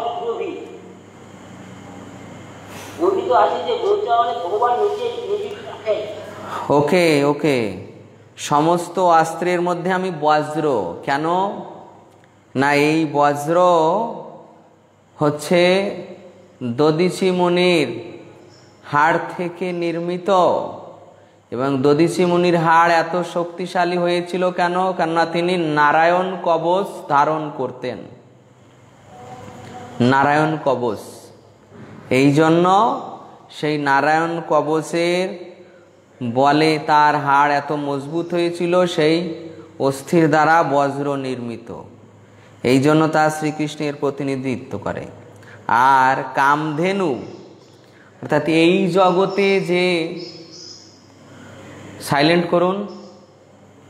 এই জগতে যে গাভী রয়েছে, তাদের মধ্যে কামধেনু হচ্ছে শ্রেষ্ঠ। যেমন বশিষ্ঠ দেবের একটা কামধেনু ছিল, তারপর যমদগ্নি ঋষি, পরশুরামের পিতা যমদগ্নি ঋষির একটি কামধেনু ছিল। তাদের কাছে যে যা চাইতো হ্যাঁ সেই কামধেনু তাই প্রদান করত। এই জন্য এই কামধেনু হচ্ছে এই জগতে গাভীদের মধ্যে শ্রেষ্ঠ। আর ভগবত ধামে ভগবত ধামে আলাদা। ভগবত ধামে হচ্ছে গাভীদের মধ্যে সুরভি গাভী। ভগবত ধামে অর্থাৎ কৃষ্ণের গোলক বৃন্দাবনে সমস্ত গাভী হচ্ছে সুরভি গাভী। এই কামধেনুদের থেকেও শ্রেষ্ঠ সেই সুরভি গাভী। এরপর রোল নাম্বার থার্টি। আর দুটি বৈশিষ্ট্য। হুম। প্রভু আমি একটু বেরিয়ে যাচ্ছি আমার মেয়ের পরীক্ষা আছে। আচ্ছা। আমার হয়ে গেছে। Roll number thirty. Hare Krishna হুম দুটি দুটি বিভূতি বলুন। সর্পদের মধ্যে আমি বাসুকি। কন্দর্প হচ্ছেন কামদেব যার প্রভাবে সুসন্তান সম্পন্ন হয়।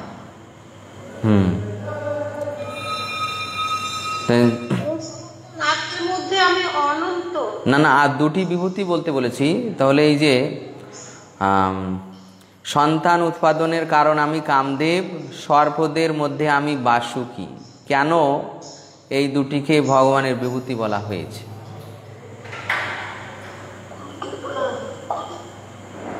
কন্দর্প হচ্ছেন কামদেব যার প্রভাবে সুসংস্থান হয়। তাই কন্দর্প হচ্ছেন শ্রীকৃষ্ণের প্রতিনিধি। ওকে ইন্দ্র জন্য যে কাম তা কখনোই প্রতিনিধিত্ব করে না। কিন্তু সুসন্তান উৎপাদনের জন্য যে কাম তাই হচ্ছেন কন্দর্প এবং তিনি শ্রীকৃষ্ণের প্রতিনিধিত্ব করেন। আর বাসুকি বাসুকিকে কেন ভগবানের প্রতিনিধি বলা হয়েছে? যদি ওটা নেই এখানে। ঠিক আছে আমি বলছি বাসুকি হচ্ছে এই যে পাতাল লোকে পাতাল লোকে যে সর্প আছে, সেই সর্পদের রাজা হচ্ছে বাসুকি। পাতাল লোকে যে সর্প আছে হ্যাঁ সেই পাতাল লোকে সর্পদের রাজা হচ্ছে বাসুকি। হ্যাঁ এই জন্য বাসুকিকে ভগবানের বিভূতি বলা হয়েছে। এরপর পাতাল লোকে পাতাল লোকে যে সর্পগণ রয়েছে সেই সর্পদের রাজা হচ্ছে বাসুকি। হ্যাঁ? পাতাল লোকে। সেই সর্পদের রাজা হচ্ছে বাসুকি। তো সেই বাসুকি যেহেতু সর্পদের রাজা এই জন্য বাসুকিকে ভগবানের বিভূতি বলা হয়েছে। হ্যাঁ বলুন। হয় হ্যাঁ অনন্ত শেষ। তিনি হচ্ছেন নাগেদের রাজা।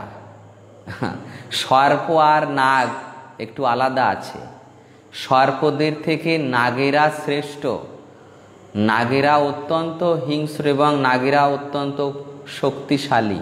সেই নাগেদের রাজা হচ্ছে অনন্তদেব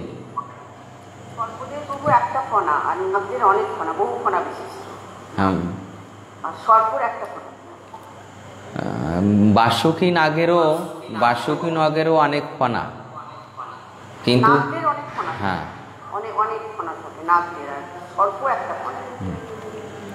কিন্তু বাসুকির বাসুকির তো অনেক ফনা। বাসুকির একটা ফনা। হ্যাঁ। তো এখানে দেখুন সর্পদের, এখানে অনুবাদে বলা হয়েছে, সর্পদের মধ্যে আমি বাসুকি। বাসুকি এখানে সর্প বলা হয়েছে।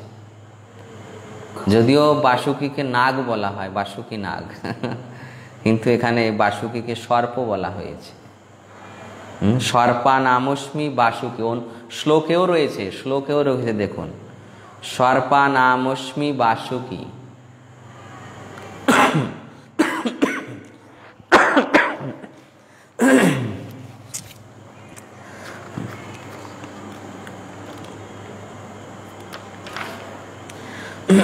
এরপর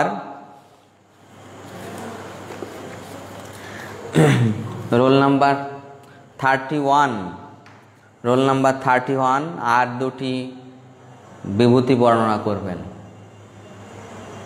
হরে কৃষ্ণ সমস্ত নাগদের মধ্যে আমি অনন্ত এবং জলচরদের মধ্যে আমি বরুণ এক্সপ্লেনেশনটা পারব না সমস্ত নাগদের মধ্যে যে নাগেরা বহু ফনারধারী হয়।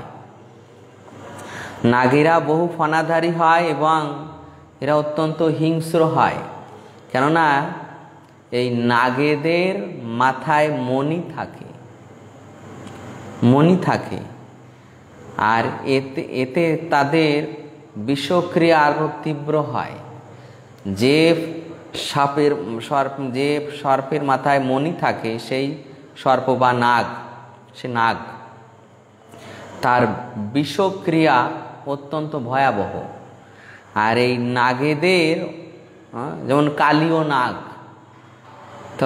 তার অসংখ্য ফনা ছিল। তো ঠিক এই নাগেদের মধ্যে অনন্ত দেব, তিনি হচ্ছেন শ্রী বিষ্ণুর অংশ। এই অনন্তদেব কোনো সাধারণ সর্প নয়, তিনি হচ্ছেন শ্রী বিষ্ণুর অংশ। হুম। আর তিনি হচ্ছেন সমস্ত যে নাগলোক রয়েছে, সেই সমস্ত নাগলোকের রাজা। নাগলোকের রাজা অনন্তদেব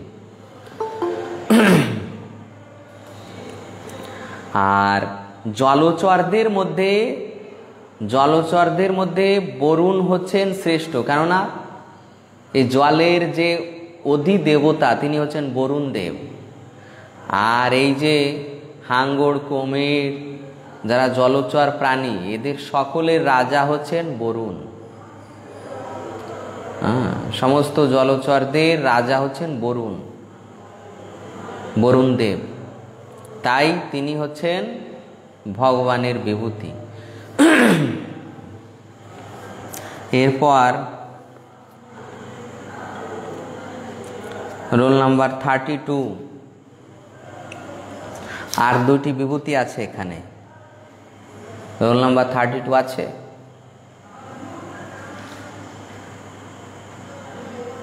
ওকে, নেই। ঠিক আছে, আমি বলছি। পিতৃদের মধ্যে আমি অর্জমা। এই পিতৃপুরুষ লোক রয়েছে। পিতৃপুরুষ লোক।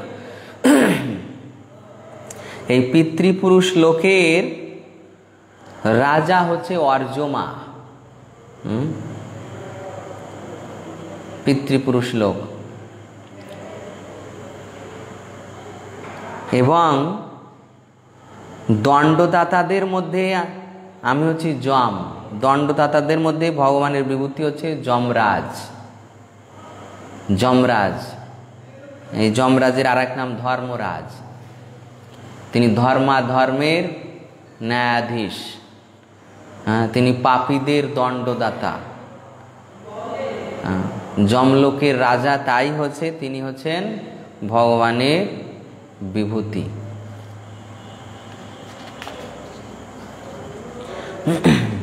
এরপর thirty three thirty four thirty five thirty six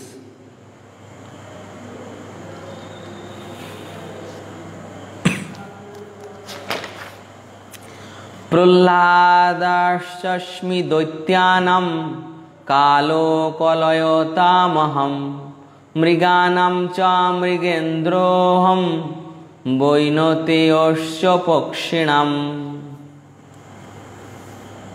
thirty three থেকে কেউ একজন পড়ুন থার্টি থ্রি থেকে thirty three thirty four thirty five thirty six thirty three আছে?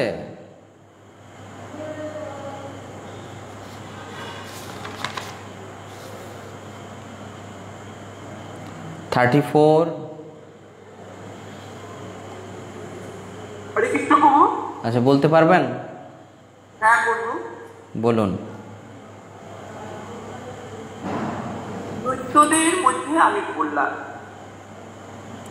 হ্যাঁ কেন কেন? কেন দৈত্যদের মধ্যে তিনি প্রহ্লাদ? বললাম কেন? তিনি ছিলেন একজন ভগবান ভক্ত নারদমুনির শিষ্য মাতৃগর্ভ থাকাকালীন তিনি নারদমুনির থেকে জ্ঞান আহরণ করেছিলেন এবং এই জন্যই ওনাকে মানে তিনি হ্যাঁ ওকে। তিনি হচ্ছেন মহাভাগবত হ্যাঁ তিনি শৈশব থেকেই ভগবানের একজন মহান ভক্ত। যেহেতু দৈত্যকুলে তিনি ভগবানের একজন ভক্ত এই জন্য তাকে ভগবানের একজন প্রতিনিধি হ্যাঁ এবং বিভূতি বলা হয়েছে মুক্তি।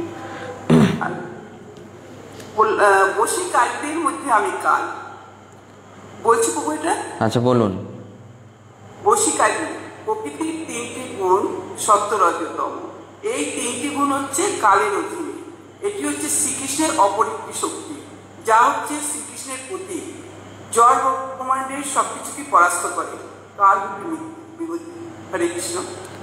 বশীকারীদের মধ্যে তিনি হচ্ছেন কাল। হ্যাঁ যে যে অষ্টসিদ্ধি রয়েছে, অষ্টসিদ্ধির মধ্যে বসিতা হচ্ছে এক প্রকার সিদ্ধি। বসিতা, যে যোগীরা এই বসিতা সিদ্ধি লাভ করেছে, তা, তারা অপরকে কি বশীকরণ করতে পারে? অপরকে বশীকরণ করতে পারে, বশীকরণ বিদ্যা আছে তাদের। তো রকম যারা এই সিদ্ধি লাভ করেছে, তারা যেমন অপরকে বশীকরণ করতে পারে ঠিক তেমন, তাহলে তারা হচ্ছে বশীকারী। এর বশীকারীদের মধ্যে কাল হচ্ছে শ্রেষ্ঠ। কেননা, এই বশীকারীদের মধ্যে এই কাল, সে শুধু মানুষদের নয় দেবতারদেরও বশীকরণ করতে পারে। দেবতারাও তার প্রভাবে মারা যায়, কালের প্রভাবে। হ্যাঁ এই কাল হচ্ছে শ্রীকৃষ্ণের ইচ্ছা শক্তি কালকে বলা হয়েছে শ্রীকৃষ্ণের ইচ্ছা শক্তি কাল শ্রীকৃষ্ণের প্রতীক। এই জন্য তা ভগবানের বিভূতি। Okay thirty five thirty six আছে? নেই। মৃগানাম মৃগেন্দ্রহম। অর্থাৎ পশুদের মধ্যে আমি সিংহ। সমস্ত পশুদের মধ্যে শক্তির দিক দিয়ে কার শক্তিশালী? অর্থাৎ স্থলজ স্থলজ পশুদের মধ্যে সিংহের সিংহের শক্তি বেশি হ্যাঁ সিংহের শক্তি বেশি। তাই পশুদের মধ্যে সিংহ হচ্ছে ভগবানের বিভূতি, আর পক্ষীদের মধ্যে পক্ষীদের মধ্যে সব থেকে শক্তিশালী হচ্ছে গরুর। সমুদ্র মন্থন লীলায় দেবতারা এবং অসুরেরা মিলিত হয়ে মন্দরাচল পর্বতকে নিয়ে যাচ্ছিলেন। হঠাৎ মন্দরাচল পর্বত তাদের দেবতা অসুরদের শরীরের উপর পড়েছে, কারও হাত পা ভেঙে গিয়েছে। আর ভগবানকে যখন আহ্বান করলেন, ভগবান তখন গরুরকে নিয়ে এলেন। গরুরের পিঠে উঠে তিনি অসুর এবং দেবতাদের গরুরের এক পাখার উপর আর এক পাখার উপর ওই মন্দরাচলকে বসালেন। বসিয়ে নিয়ে তারপর গরুরের পিঠে উঠে চড়লেন। তো গরুর কত শক্তিশালী। তো এই গরুর হচ্ছে ভগবান শ্রীকৃষ্ণের প্রতিনিধি। ইন্দ্র গরুরকে লক্ষ্য করে বজ্র নিক্ষেপ করেছিল। আর গরুর দেব ওই বজ্রের মান রাখার জন্য তার একটা পালক উঠিয়ে ওই বজ্রের সামনে দিয়েছিলেন। ওই বজ্র ওই পালকটা পুড়িয়ে দিয়ে চলে গিয়েছিল। আর গরুরকে কিছুই করতে পারেনি। তো এইভাবে গরুর এত শক্তিশালী আর গরুরের পাখার থেকে সামবেদের গান হয়। ও, সে পাখা যখন সে চালু করে, অর্থাৎ ওড়া শুরু করে, তখন তার পাখার থেকে সামবেদের সংগীত হয়। ভগবান শুনে প্রসন্ন হন। তো এইভাবে গরুর শ্রী বিষ্ণুর বাহন এবং সব থেকে শক্তিশালী পক্ষী এই জন্য তাকে ভগবানের বিভূতি বলা হয়েছে। Okay roll number thirty seven thirty eight thirty nine forty Pawan পবতামস্মি রাম শস্ত্রভৃতামহম ঝাসানাম মকরশ্চাস্মি শ্রুতশ্যামস্মি Jahnavi. Okay roll number thirty seven বলুন। একটি হ্যাঁ। বলুন। কেন বায়ু? পবিত্রকারী বস্তুদের মধ্যে তিনি বায়ু। কেন বায়ু? যে সমস্ত বস্তু পবিত্র রয়েছে পবনদেরকে এখানে বলা হয়েছে কারণ সেখানে সমস্ত কিছু পবিত্র যে বস্তু রয়েছে তার মধ্যে বায়ুকে শ্রেষ্ঠ বলা হয়েছে পবনদেরকে এখানে বলা হয়েছে। হুম। পবিত্রকারী বস্তুদের মধ্যে আমি বায়ু। কেননা বায়ু সর্বত্র বিচরণ করতে পারে এবং সমস্ত স্থানকে তার পবনের দ্বারা পবনের দ্বারা তিনি সুগন্ধি অর্থাৎ পবিত্র করতে পারেন সমস্ত স্থানকে। এই জন্য বায়ুকে ভগবানের বিভূতি বলা হয়েছে। এরপর থার্টি এইট থার্টি এইট হ্যাঁ বলুন। ষষ্ঠ- ষষ্ঠ মধ্যে আমি পরশুরাম। পরশুরাম হচ্ছে ভগবানের সপ্তাবেশ অবতার, যিনি শাস্ত্রবিদ্যা এবং শাস্ত্র চালনায় অত্যন্ত নিপুণ ছিলেন। এবং এতটা নিপুণ ছিলেন যে তিনি অধার্মিক কুশাসকদের ক্ষত্রিয়রা ছিল তাদেরকে একা পৃথিবী থেকে একুশ বার ধ্বংস করতে সক্ষম হয়েছিল। তো এই যে একজন, এক ক্ষত্রিয় অর্থাৎ শক্তিশালী বর্গ, যাকে একা একজন একুশ বার ধ্বংস করতে সক্ষম হয়, এটা তখনই সম্ভব যখন এটা ভগবানের কোনো ঐশ্বর্য এই অস্ত্রচালনার জন্য বিশেষভাবে তার মধ্যে প্রকাশ পায়। শস্ত্রধারী এই শস্ত্র মানে যে হাতে নিয়ে চালাতে হয়, ছুড়ে দিয়ে নয়, হাতে রেখে। তা ভগবান পরশুরামের হাতে কি ছিল? কুঠার। কুঠার ছিল। তো সেই কুঠারে সেই কুঠারে সুদর্শন চক্রের ন্যায় তেজ ছিল। সুদর্শন হ্যাঁ বলা হয় যে ভগবান শ্রী রামচন্দ্রের ধনুর্বাণ হচ্ছেন সুদর্শন চক্র। পরশুরামের কুঠার হচ্ছে সুদর্শন চক্র।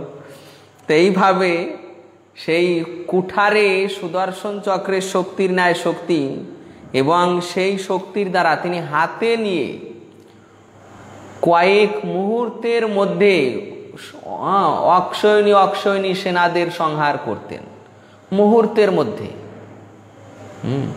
কার্তবীর্যার্জুন চোদ্দ অক্ষয়ণী সেনাকে তার বিরুদ্ধে লড়তে পাঠিয়ে দিয়ে আর তিন অক্ষয়ণী সেনা নিয়ে এসে রাজপ্রাসাদের মধ্যে প্রবেশ করল।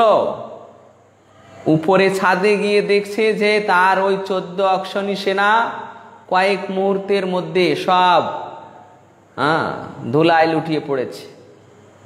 ভগবান এত তীব্র বেগে সকলের হ্যাঁ, মন মানে শিরচ্ছেদ করেছেন শিরচ্ছেদ করেছেন। তো এইভাবে শস্ত্রধারীদের মধ্যে তিনি হচ্ছেন পরশুরাম। ওকে এরপর থার্টি নাইন হম।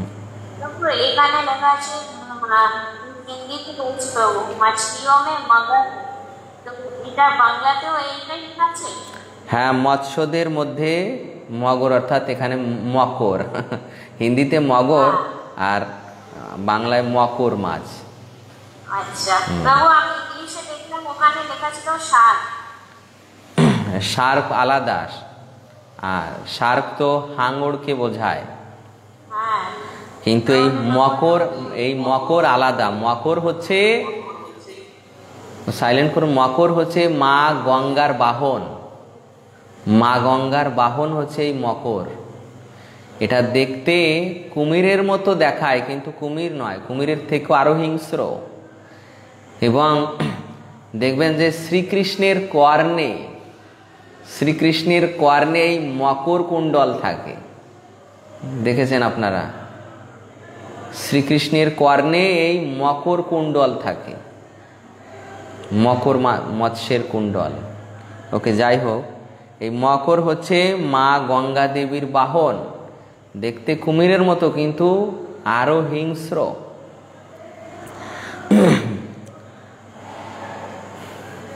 হ্যাঁ এখানে তাৎপর্য, প্রপাত বলছেন যে সমগ্র জলচর প্রাণীদের মধ্যে মকর হচ্ছে বৃহত্তম এবং মানুষের কাছে দারুণ ভয়ঙ্কর। এটা এত ভয়ঙ্কর কুমিরের থেকেও ভয়ঙ্কর। হ্যাঁ এই জন্য এই মকর হচ্ছে শ্রীকৃষ্ণের প্রতীক। অর্থাৎ শ্রীকৃষ্ণের বিভূতি যেহেতু এত ভয়ঙ্কর।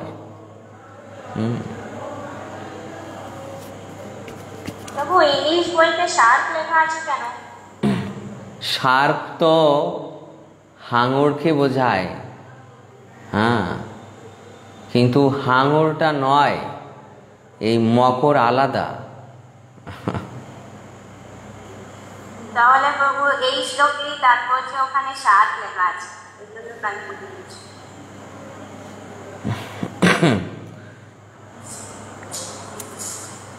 এরপর এরপর অনুমাতাজি forty roll number forty. Krishna प्रभु नदियों में मैं गंगा नदियों में गंगा। क्योंकि प्रभु यह गंगा सबसे पवित्र है नदी और वो भगवान के चरण कमलों से निकली है। इस वजह से गंगा सभी तीर्थ स्थल में गंगा का ही जो जल है वो सर्वश्रेष्ठ है। सब लोग उसमें स्नान करके पवित्र होते हैं ওকে সমস্ত নদী সমূহের মধ্যে আমি গঙ্গা কেননা আহ, এই যে গঙ্গা নদীতে এই পবিত্রতার গুণ পবিত্রতার গুণ বেশি থাকে এবং গঙ্গা নদীর জল আহ, বিশেষত্ব রয়েছে অনেক বিশেষত্ব রয়েছে গঙ্গা নদীতে হ্যাঁ, এবং গঙ্গাকে বলা হয় যে ভগবানের দ্রব্যময় বিগ্রহ। গঙ্গাকে বলা হয় ভগবানের দ্রব্যময় বিগ্রহ। এবং গঙ্গা শ্রী বিষ্ণুর পদধৌত করে, শ্রী বিষ্ণু অর্থাৎ শ্রী বামন দেবের পদধৌত করে এই জগতে এসেছে। এ হচ্ছে স্পিরিচুয়াল ওয়াটার দিব্য জল। বিরজা নদীর দিব্য জল, তা যখন শ্রী বিষ্ণুর পদ ধৌত করে এই জগতে এসেছে, ব্রহ্মাজি তার কমণ্ডলে ধারণ করেছেন। পরবর্তীতে ভগীরথ ব্রহ্মার কাছ থেকে সেই গঙ্গা জলকে এই জগতে নিয়ে এসেছেন। এইভাবে এই পবিত্রতা দিক দিয়ে এবং নদী সমূহের মধ্যে পবিত্র নদীর দিক দিয়ে গঙ্গা হচ্ছে শ্রেষ্ঠ।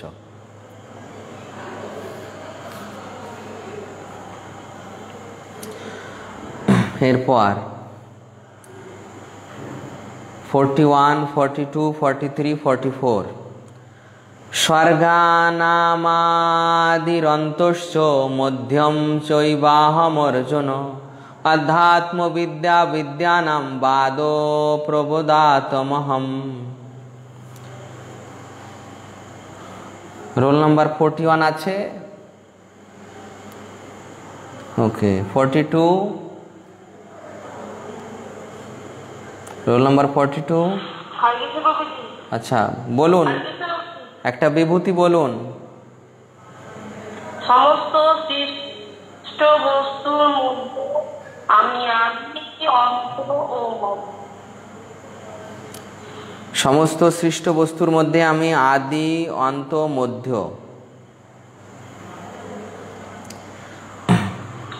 হুম ওকে বলতে পারবেন এটা কি?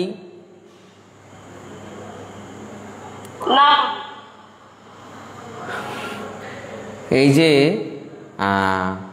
আদি আদি অন্ত মধ্য। এই আদি অন্ত মধ্য মানে এখানে বর্ণনা করা হয়েছে।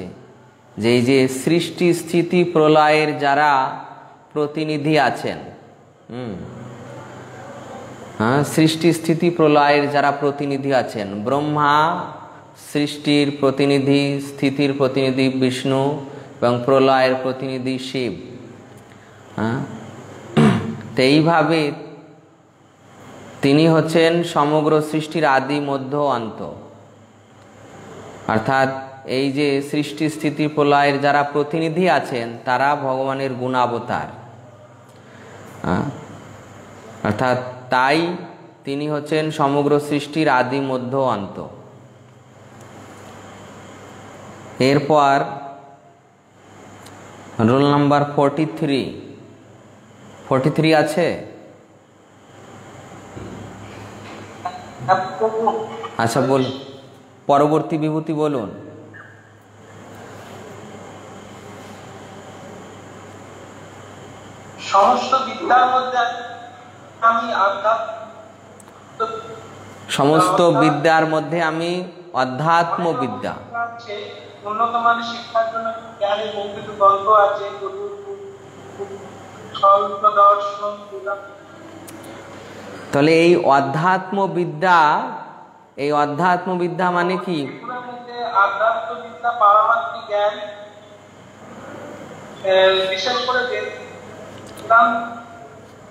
এই অধ্যাত্ম বিদ্যার মধ্যে, ওকে সাইলেন্ট করুন। আপনার মোবাইলে ডিস্টার্ব হচ্ছে সাইলেন্ট করুন। এই অধ্যাত্ম বিদ্যা বা পারমার্থিক জ্ঞান, এই পারমার্থিক জ্ঞান কোন শাস্ত্রে, কোন সূত্রে সব থেকে বেশি প্রতিফলিত হয়েছে? বেদান্ত সূত্রে। আর বেদান্ত সূত্র হচ্ছে শ্রীকৃষ্ণের প্রতিনিধি। বেদান্ত সূত্র। এই বেদান্ত সূত্র হচ্ছে শ্রীকৃষ্ণের প্রতিনিধি। আর এই বেদান্ত সূত্রের ভাষ্য হচ্ছে শ্রীমদ্ ভাগবত। বেদান্ত সূত্রের ভাষ্য হচ্ছে শ্রীমদ্ ভাগবত। এই বেদান্ত সূত্র হচ্ছে শ্রীকৃষ্ণের প্রতীক। এই জন্য এই বেদান্ত সূত্রকে অধ্যাত্মবিদ্যার মধ্যে শ্রেষ্ঠ বিদ্যা বলা হয়েছে। Okay roll number forty four roll number forty four আচ্ছা বলুন। হ্যাঁ প্রভু হরে কৃষ্ণ। প্রভু তার্কিকদের মধ্যে বাদ জল্প ও বিতণ্ডাদের মধ্যে সিদ্ধান্তবাদ ওকে বিষয় বিষয়টা বুঝিয়ে বলতে পারবেন? কেন? প্রভু পারব না। ওকে দেখুন। এই যে এই তার্কিক তার্কিক মানে যারা ন্যায়শাস্ত্রে যারা তর্ক বিতর্ক নিয়ে থাকে, তর্কশাস্ত্র। তো এই তর্কশাস্ত্রে কি রয়েছে দেখুন?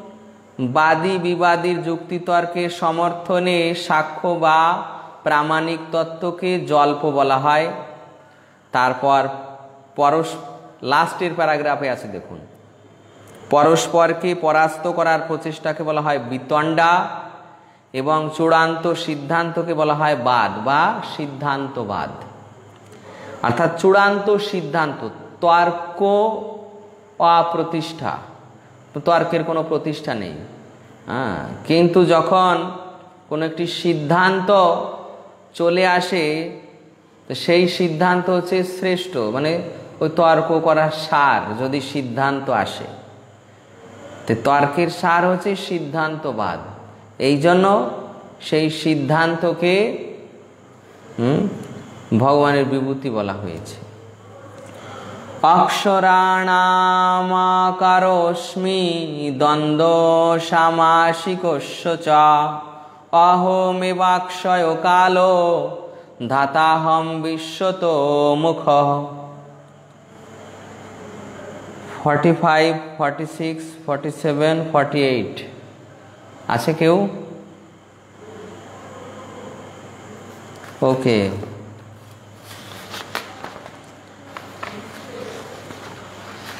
ফর্টি এইট আছে?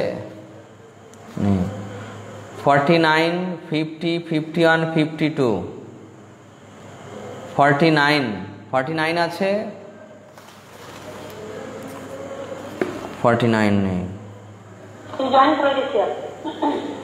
ওকে তাহলে বলতে পারবেন? তেত্রিশ নাম্বার শ্লোক থেকে তেত্রিশ নাম্বার শ্লোক থেকে তেত্রিশ নাম্বার শ্লোক থেকে একটা বিভূতি বলুন।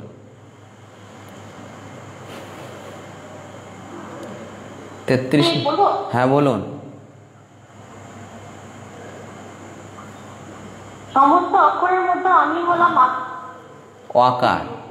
অকার। কেন অকার?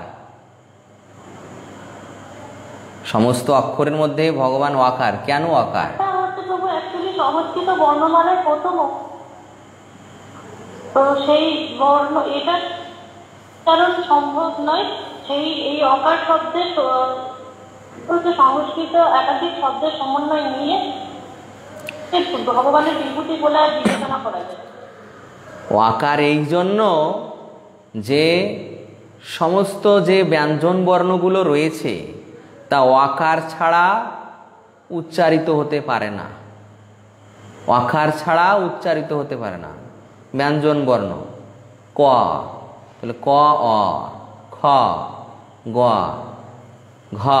সব সব ব্যঞ্জন বর্ণেই পায়ের প্রয়োজন। এইভাবে ব্যঞ্জন বর্ণের দ্বারা যদি শব্দ সৃষ্টি করতে হয়, সেখানেও অপ্রয়োজন। হ্যাঁ? তো এইভাবে অ বিনা কোনো ব্যঞ্জন বর্ণ উচ্চারণ বা কোনো শব্দের উচ্চারণ সম্ভব নয়। এই জন্য এই অকারকে ভগবানের প্রতিনিধি বলা হয়েছে? অকার হচ্ছে ভগবানের বিভূতি। এরপর ফোরটি নাইন ফোরটি নাইন আছে? Okay, fifty. Roll number fifty, বলুন। হ্যাঁ বলব হ্যাঁ বলুন। বলছে সমাজ সমূহের সমূহের মধ্যে আমি দ্বন্দ্ব সমাস কেন দ্বন্দ্ব? সংস্কৃত শব্দের ঠাকুর শুনতে পাচ্ছেন? হ্যাঁ পাচ্ছি। হ্যাঁ সংস্কৃত শব্দের একটা সমন্বয় এটা। যেমন কোন রামকৃষ্ণ বা যে কোনো ছাই ভস্য যেগুলো যুক্তাক্ষর এই দ্বন্দ্ব সমাসে উভয় পদের অর্থ প্রধান। এই দ্বন্দ্ব সমাসে উভয় পদের অর্থ প্রধান রূপে থাকে। যেমন রাম ও কৃষ্ণ, রাম কৃষ্ণ। হ্যাঁ? এইভাবে পিতা ও মাতা, পিতা মাতা, এইভাবে যত যত দ্বন্দ্ব সমাস রয়েছে, উভয় পদের অর্থ প্রধান। এই জন্য এই দ্বন্দ্ব সমাসকে ভগবানের বিভূতি বলা হয়েছে। এরপর fifty one roll number fifty one roll number fifty one আছে okay roll number fifty two হ্যাঁ বলুন কেন মহাকাল? সংহারকা- মানে যখন মহিলা চলে তখন মহাকাল অর্থাৎ শিবজি তার পৃথিবীকে ধ্বংস বিনাশ পৃথিবীতে ধ্বংস বিনাশ চালায়। তো বিনাশকারীদের মধ্যে চরম এবং শ্রেষ্ঠ এবং কালের প্রভাবে সকলেরই বিনাশ হয় কাল শ্রীকৃষ্ণের প্রতিনিধি কারণ কালক্ষেত্রে এক মহা অগ্নি প্রলয়ে পৃথিবী হয়ে যাবে। তো সমস্ত বিনাশকারীদের মধ্যে হ্যাঁ কাল হচ্ছে শ্রেষ্ঠ হ্যাঁ বিনাশকারী। এই কাল হচ্ছে কি? মহাকাল হ্যাঁ। অর্থাৎ মহাকাল রুদ্র। তিনি হচ্ছেন সংহারকারীদের, বিনাশকারীদের মধ্যে শ্রেষ্ঠ। কেননা যখন প্রলয়ের সময় হয়, তখন এই রুদ্ররা সমাধি অবস্থা থেকে জেগে ওঠেন আর তারা এমনভাবে প্রলয় সৃষ্টি করেন যে সমস্ত সৃষ্টি কিছুক্ষণের মধ্যেই সব তছনছ হয়ে যায়। তো এই বিনাশের বিনাশের শ্রেষ্ঠ হিসাবে, যে শ্রেষ্ঠ, বিনাশকারীদের মধ্যে শ্রেষ্ঠ, এই জন্য এই মহাকাল রুদ্রকেই ভগবানের প্রতিনিধি বলা হয়েছে ওকে। এরপর fifty three roll number fifty three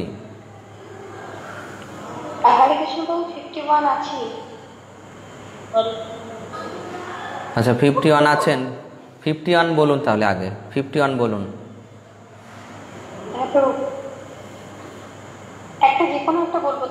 হ্যাঁ লাস্টেরটা বলুন।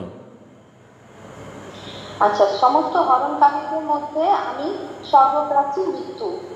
না স্রষ্টাদের মধ্যে স্রষ্টাদের মধ্যে আমি ব্রহ্মা। আচ্ছা সত্তাদের মধ্যে ব্রহ্মা হচ্ছেন চতুর্মুখ ব্রহ্মা হচ্ছেন প্রধান এবং তিনি হচ্ছেন ভগবান শ্রীকৃষ্ণের একজন প্রতিনিধি। স্রষ্টা এই জগতে যারা স্রষ্টা বলে খ্যাত তাদের মধ্যে ব্রহ্মা হচ্ছে শ্রেষ্ঠ। কেননা ব্রহ্মা এই সৃষ্টি করার জন্য তাকে দেবতাদের শত বৎসের ন্যায় তাকে তপস্যা করতে হয়েছে। তপস্যা করে তারপর ভগবানের কাছ থেকে শক্তি প্রাপ্ত হয়ে তিনি সৃষ্টি করছেন এবং ভগবান যেভাবে সৃষ্টি করতে আদেশ দিয়েছেন ঠিক সেইভাবে।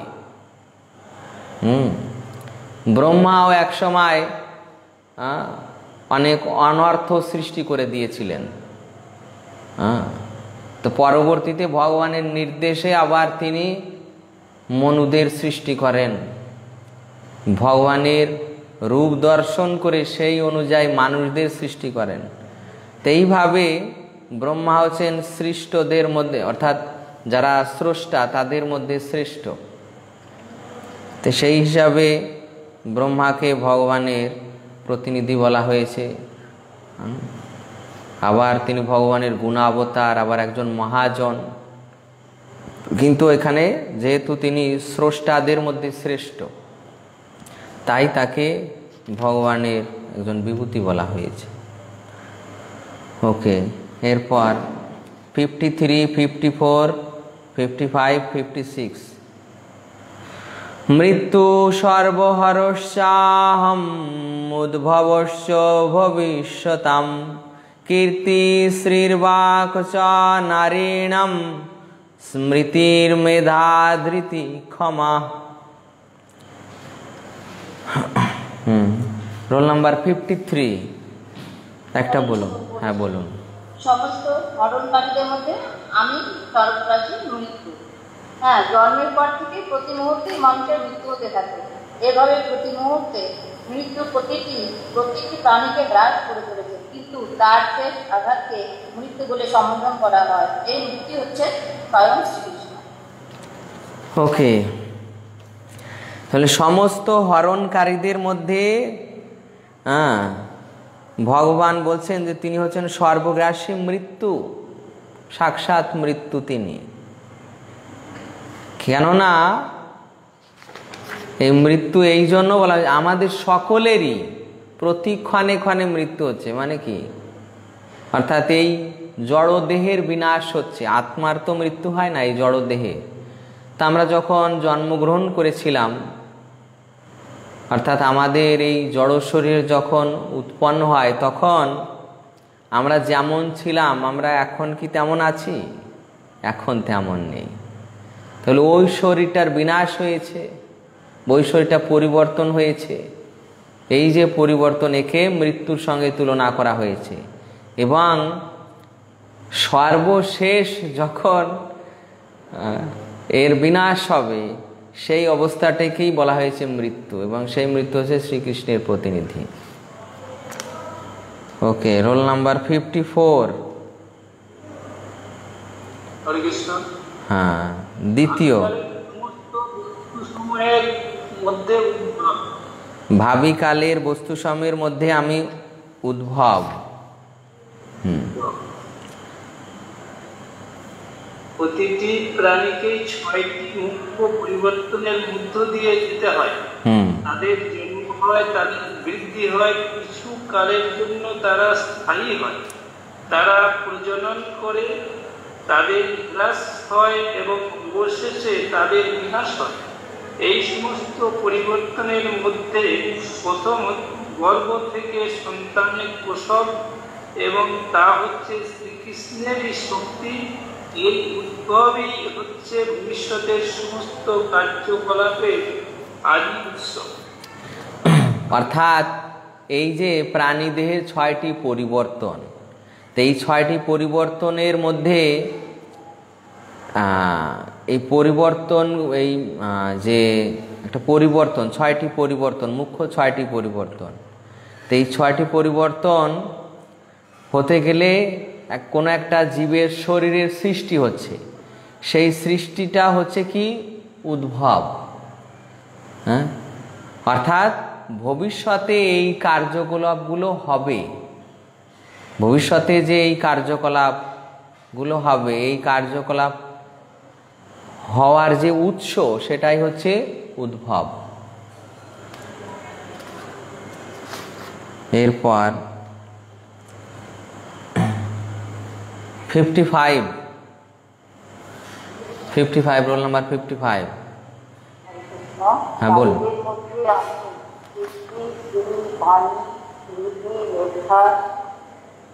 স্মৃতি ও ক্ষমা। এখানে যে কীর্তি শ্রী বাণী স্মৃতি মেধা স্মৃতি ও ক্ষমা এই সাতটি ঐশ্বর্যের কথা উল্লেখ করা হয়েছে তার তার সবই একটি লিঙ্গবাদী কোনো ব্যক্তি যখন এই ঐশ্বর্যগুলির মধ্যে সব কয়েকটি বা কয়েকটি ধারণ করেন তখন তিনি মহিমান্বিত হন কোনো মানুষ যখন ধার্মিক ব্যক্তির শিক্ষাপন হন তখন সেটি তাকে মহিমান্বিত করে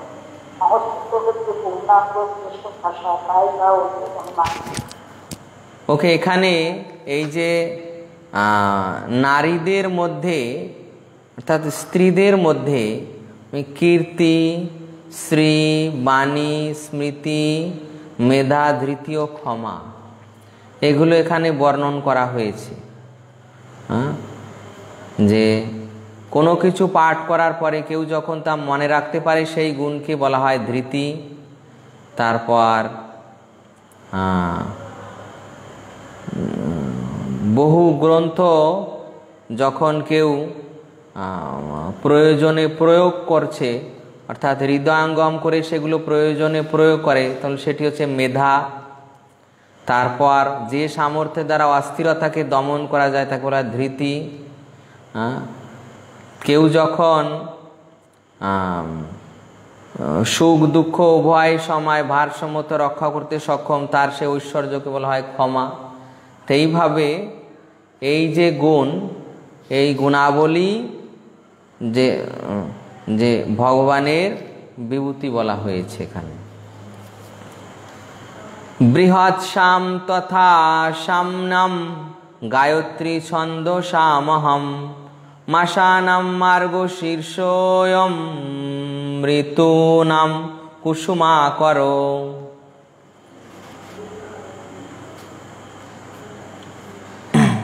roll number fifty six fifty six বলুন। হ্যাঁ বলুন, একটা বলুন। কেন বৃহৎ শ্যাম?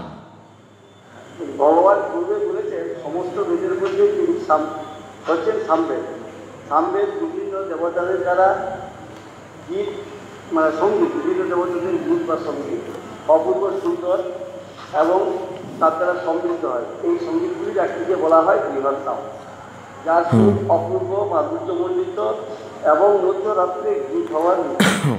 তো এই যে আমরা এখানে পেয়েছি যে সাম বেদের মধ্যে আমি বৃহৎ সাম। পূর্বে আমরা পেয়েছি যে সমগ্র বেদের মধ্যে তিনি সাম বেদ আবার এখানে পাচ্ছি সাম বেদের মধ্যে আবার তিনি বৃহৎ সাম কেননা এই বৃহৎ সামের সুর অপূর্ব মধুর্য, মাধুর্যমণ্ডিত। হ্যাঁ এই জন্য তা ভগবানের বিভূতি। ওকে, এরপর fifty seven roll number fifty seven আছে? Okay fifty eight. Okay roll number ও ছন্দ সময়ের মধ্যে আমি গায়ত্রী। কেন গায়ত্রী? সংস্কৃত ভাষায় কবিতাকে ছন্দবদ্ধ করার কতগুলি বিশেষ নিয়ম আছে। ছন্দ মাত্রা আপনি কবিতার মতো ফেলে বলে লেখা হয় না। কবিতার মাধ্যমে গায়ত্রী মন্ত্র হচ্ছে মধ্যে কবিতার মধ্যে গায়ত্রী মন্ত্র হচ্ছে শ্রেষ্ঠ। যা সুযোগ্য ব্রাহ্মণরা গিয়ে থাকে। এই যে হ্যাঁ এই যে গায়ত্রী গায়ত্রী ছন্দ ছন্দ সময়ের মধ্যে তিনি হচ্ছেন গায়ত্রী। এই গায়ত্রী ছন্দে বেদ গাওয়া হয়। বৈদিক মন্ত্র এই গায়ত্রী ছন্দে সুর করে গাওয়া হয়। হুম, এই জন্য এই গায়ত্রী হচ্ছে কি? ভগবানের বিভূতি। এরপর roll number fifty nine Hare Krishna প্রভু হ্যাঁ বলুন। মাস মধ্যে হুম বলুন অগ্রহণ কেন? এমনিতে বারো মাসের মধ্যে মাস শ্রেষ্ঠ কারণ এই সময় নতুন ফসল সংগ্রহ করা হয়। ফলে সমস্ত জনগণ সকলের চিন্তা সুখী এই জন্য অগ্রহণ মাস হচ্ছেন ভগবানের ওকে এই যে যেহেতু এই সময়, এই অগ্রহায়ণ মাসে, এই সময় সমস্ত ফসল, আদি যারা কৃষক আছে তারা গৃহে আনয়ন করেন, সমস্ত ফসল গৃহে উঠে। এই জন্য এই হিসাবে এই মাসটাকে শ্রেষ্ঠ বলা হয়েছে। আমাদের আধ্যাত্মিক বিচারে পরবর্তীতে পুরুষোত্তম মাসকে শ্রেষ্ঠ বলা হয়েছে? পুরুষোত্তম মাস।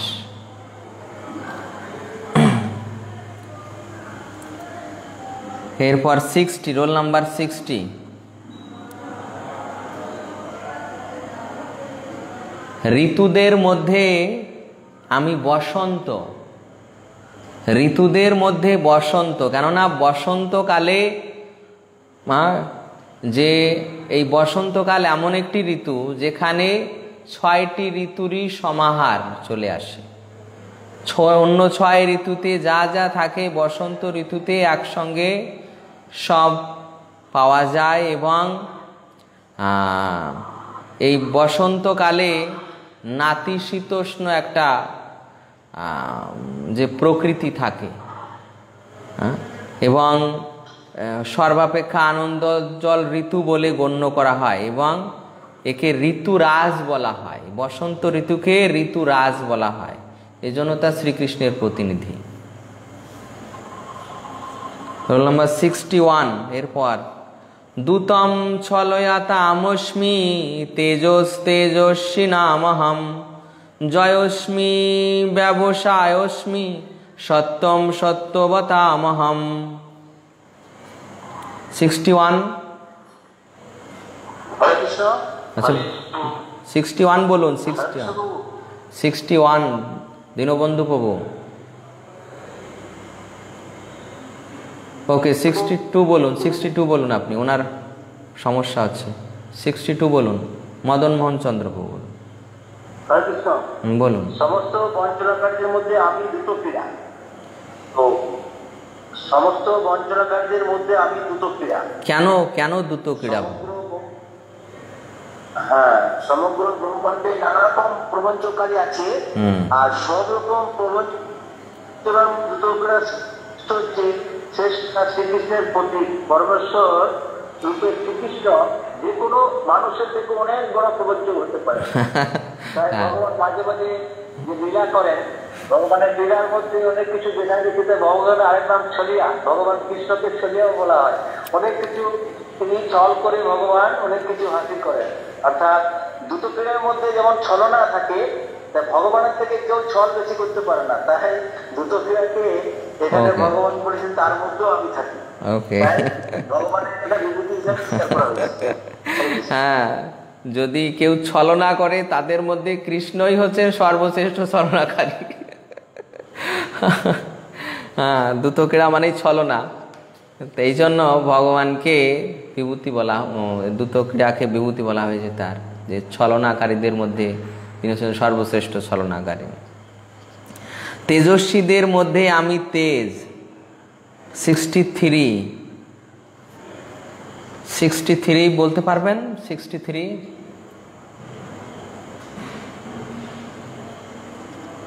roll number sixty three আছে? Sixty four? ওকে, এগুলো আমি বর্ণনা করছি। তাহলে তেজস্বীদের মধ্যে আমি তেজ, আমি বিজয়, উদ্যম ও বলবানদের মধ্যে আমি বল। সমগ্র তেজস্বীদের মধ্যে তিনি হচ্ছেন তেজ মানে বীর্য, শক্তি। হ্যাঁ তার শক্তির কাছে আর কেউ দাঁড়াতে পারে না।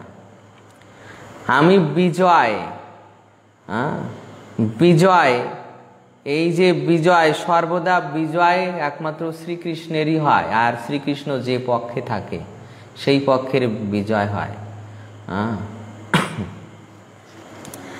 আমি উদ্যম বলবানদের আমি বল।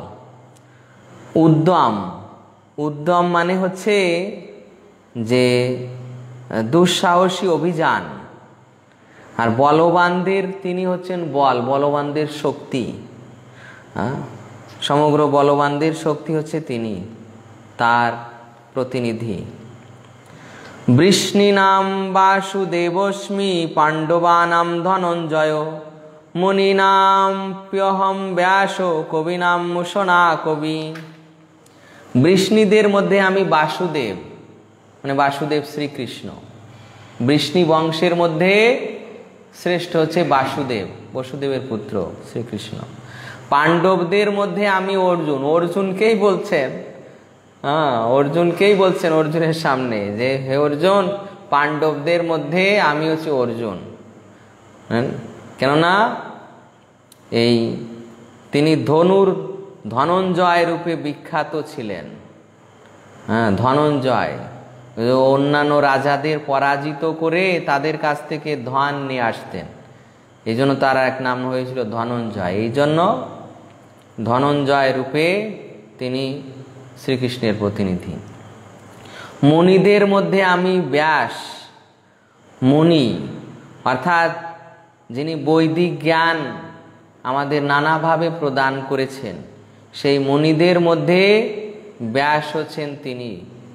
অর্থাৎ শ্রীকৃষ্ণের প্রতিনিধি ব্যাসদেব। তিনি ভগবানের সপ্তাবেশ অবতার, আবার সমস্ত শাস্ত্র গ্রন্থের রচয়িতা তো এইভাবে ব্যাসদেবকে ভগবানের প্রতিনিধি বলা হয়েছে। কবিদের মধ্যে আমি শুক্রাচার্য। কবি মানে দেখুন এখানে প্রপাত বর্ণনা করছেন যে যারা যে কোনো বিষয়ে পুঙ্খানুপুঙ্খভাবে চিন্তা করতে সমক্ষ, অর্থাৎ বেদের সিদ্ধান্ত দ্বারা, বেদের সিদ্ধান্ত দ্বারা পুঙ্খানুপুঙ্খভাবে বিচার করতে সক্ষম, তাদের বলা হয়েছে কবি। আর সেই কবিদের মধ্যে মুসনা কবি, অর্থাৎ শুক্রাচার্য, দৈত্যদের গুরু, তিনি হচ্ছেন ভগবানের প্রতিনিধি, ভগবানের বিভূতি। দণ্ড দময়তামস্মি নীতিরশ্মি জিগীষতাম মৌনম চৈবাস্মি গুহানাম, জ্ঞানম জ্ঞানবতামহম। দমনকারীদের মধ্যে আমি দণ্ড অর্থাৎ শাসন করার যে দণ্ড, অর্থাৎ যমরাজের যে অস্ত্র, তা হচ্ছে ভগবানের বিভূতি। তারপর জয় অভিলাষীদের মধ্যে আমি নীতি নীতি, অর্থাৎ যে শাস্ত্র নীতি, রণনীতি, সব নীতি হচ্ছে তিনি। গুহ ধর্মের মধ্যে আমি মৌন, মৌনতা হচ্ছে ভগবানের প্রতিনিধি। হ্যাঁ এই মৌনতা শুধু মানে মুখ বন্ধ করে থাকে এমন নয়। এই মৌনতা বলতে আবার যারা কৃষ্ণ কথা ছাড়া অন্য বিষয় বর্ণনা করেন না, তারাও মৌন। সাধারণভাবে দেখা যায় যে বৈদিক মন্ত্র মৌনভাবে উচ্চারণ করতে হয়। আমরা যখন গায়ত্রী করি, তখন বৈদিক মন্ত্র মৌনভাবে উচ্চারণ করি। আবার মৌন মানে যারা কৃষ্ণ বিষয় ছাড়া অন্য কোনো বিষয় বর্ণন করে তারাও মৌন। তারপর, জ্ঞানবানদের মধ্যে আমি জ্ঞান, জ্ঞানবানদের জ্ঞান আমি। তাই জ্ঞান কি? জ্ঞান হচ্ছে জড় চেতনের পার্থক্য নিরূপণ করতে পারেন। হ্যাঁ? জ্ঞানী তাকে বলা হয় যিনি জড় চেতনের পার্থক্য নিরূপণ করতে পারেন এবং যিনি ভগবানের উৎকৃষ্ট নিকৃষ্ট প্রকৃতির পার্থক্য নিরূপণ করতে পারেন। এই জ্ঞান হচ্ছে শ্রীকৃষ্ণ স্বয়ং। এই জ্ঞানকে শ্রীকৃষ্ণের প্রতিনিধি বলা হয়েছে। এই শ্রীকৃষ্ণ স্বয়ং জ্ঞান স্বরূপ ইয়াচ্চাপি সর্বভূতানাম বীজম তদহমর্জুন ন তদস্তি বিনায়াত শ্যান ময়াভূতম চরাচরম হে অর্জুন যা সর্বভূতের বীজস্বরূপ তাও আমি। যেহেতু আমাকে ছাড়া স্থাবর জঙ্গম কোনো বস্তুর অস্তিত্ব থাকতে পারে না। অর্থাৎ ভগবানের শক্তি ব্যতীত অন্য কোনো বস্তুর অস্তিত্ব থাকতে পারে না। ভগবানের শক্তি ব্যতীত অন্য কিছু সৃষ্টি হয়েছে, এ যদি কেউ মনে করে, তো সেই ধারণা হচ্ছে মায়া। অর্থাৎ যা সত্য নয়। অর্থাৎ ভগবানের শক্তি ছাড়া এই জগতে কোনো কিছু সৃষ্টি হতে পারে না। নান্তস্তি মম দিব্যানাম বিভূতিনাম পরন্তপ, এষ তদ্দুষে তো শতপ্রোক্ত বিভূতের বিস্তর ময়া হে পরন্তপ, আমার দিব্য বিভূতি সময়ের অন্ত নেই, আমি এই সমস্ত বিভূতির বিস্তার সংক্ষেপে বললাম। এই যে বিরাশিটি বিভূতির কথা ভগবান বলেছেন, এও মাত্র সংক্ষেপে। বিস্তারিতভাবেও ভগবান বর্ণনা করেন, সংক্ষেপে। এখানে বলছেন যে, আমার দিব্য বিভূতির সময়ের অন্ত নেই, এত বিস্তৃত। তথাপি এখানে সংক্ষেপে ভগবান বলেছেন। ইয়াদ ইয়াদ বিভূতিমৎ সত্যম শ্রীমদ্দুর্জিত মে ভবা তত্ত্বদেবাবগচ্ছতম মম তেজংশ সম্ভবম ঐশ্বর্যযুক্ত শ্রী সম্পন্ন ও বল প্রভাদীর আধিক্যযুক্ত যত বস্তু আছে, সেই সবই আমার তেজাংশ সম্ভূত বলে জানবে। এই জগতে যে সমস্ত বস্তু আছে, কি ঐশ্বর্যযুক্ত? একটা থেকে আর একটা মানে পার্থক্য নির্ণয় করা যাচ্ছে। যে এটা বেশি ঐশ্বর্যযুক্ত, এটাও বেশি স্ত্রী সম্পন্ন বল বলের আধিক্য। তো এইভাবে সেই সেই তেজাংশ সম্ভূত তাদেরকে ভগবানের বিভূতি বলা হয়েছে। অথবা বহু নৈতেন, কিম জ্ঞাতেন তবার্জন। বিষ্টভ্যাহমিদম কৃষ্ণ মেকাংশেন স্থিত জগৎ। হে অর্জুন, অথবা এই প্রকার বহু জ্ঞানের দ্বারা তোমার কি প্রয়োজন? আমি আমার এক অংশের দ্বারা সমগ্র জগতে ব্যাপ্ত হয়ে আছি। এক অংশের দ্বারা। মানে এই যে সৃষ্ট জগৎ, এই সমগ্র জড় জগৎ তার এক চতুর্থ অংশ মাত্র। মানে চার ভাগের এক ভাগ। চার ভাগের এক ভাগ। অর্থাৎ পঁচিশ পার্সেন্ট সৃষ্টি হচ্ছে এই টোটাল জড় জগৎ। মানে একটা ব্রহ্মাণ্ড না, সমগ্র ব্রহ্মাণ্ড, জড় ব্রহ্মাণ্ড। মাত্র ভগবানের সৃষ্টির মাত্র এক চতুর্থাংশ, পঁচিশ পার্সেন্ট আর বাকি পঁচাত্তর পার্সেন্ট হচ্ছে চিন্ময় জগৎ। তার সৃষ্টি স্থিতি প্রলয় হয় না। এই জগতের এই পঁচিশ পার্সেন্টের সৃষ্টি স্থিতি প্রলয় হয়। আর তাকে বলা হয়েছে অসমর্ধ। মানে তার থেকে, অর্থাৎ শ্রীকৃষ্ণের থেকে কেউ আর সমান বা বড় নেই। তো এইভাবে ভগবান তার এই সৃষ্টি বিস্তার করে আছেন মাত্র এক চতুর্থাংশ শক্তির দ্বারা এই জগতে। তারপর যে লাস্টে প্রপাদ বলদেব বিদ্যাভূষণের টিকা দিয়েছেন, যে ভগবান শ্রীকৃষ্ণের বলবান শক্তি থেকে এমনকি শক্তিশালী সূর্য তার শক্তি লাভ করে এবং শ্রীকৃষ্ণের অংশ প্রকাশের দ্বারা সমগ্র বিশ্ব ব্রহ্মাণ্ড প্রতিপালিত হয়, সেই কারণে ভগবান শ্রীকৃষ্ণ হচ্ছেন আরাধ্য। শ্রীকৃষ্ণই হচ্ছেন সকলের আরাধ্য। কেন? না, সমগ্র কিছু তার থেকে শক্তি লাভ করে এবং তিনি এই বিশ্ব ব্রহ্মাণ্ডের প্রতিপালক। তাই তিনি হচ্ছেন আরাধ্য। তো এইভাবে আমাদের আজকের ক্লাস এখানে বিশ্রাম হচ্ছে। আজকে আর আমরা কোনো প্রশ্ন নিব না, সাড়ে নটা বেজে গিয়েছে। হরে কৃষ্ণ।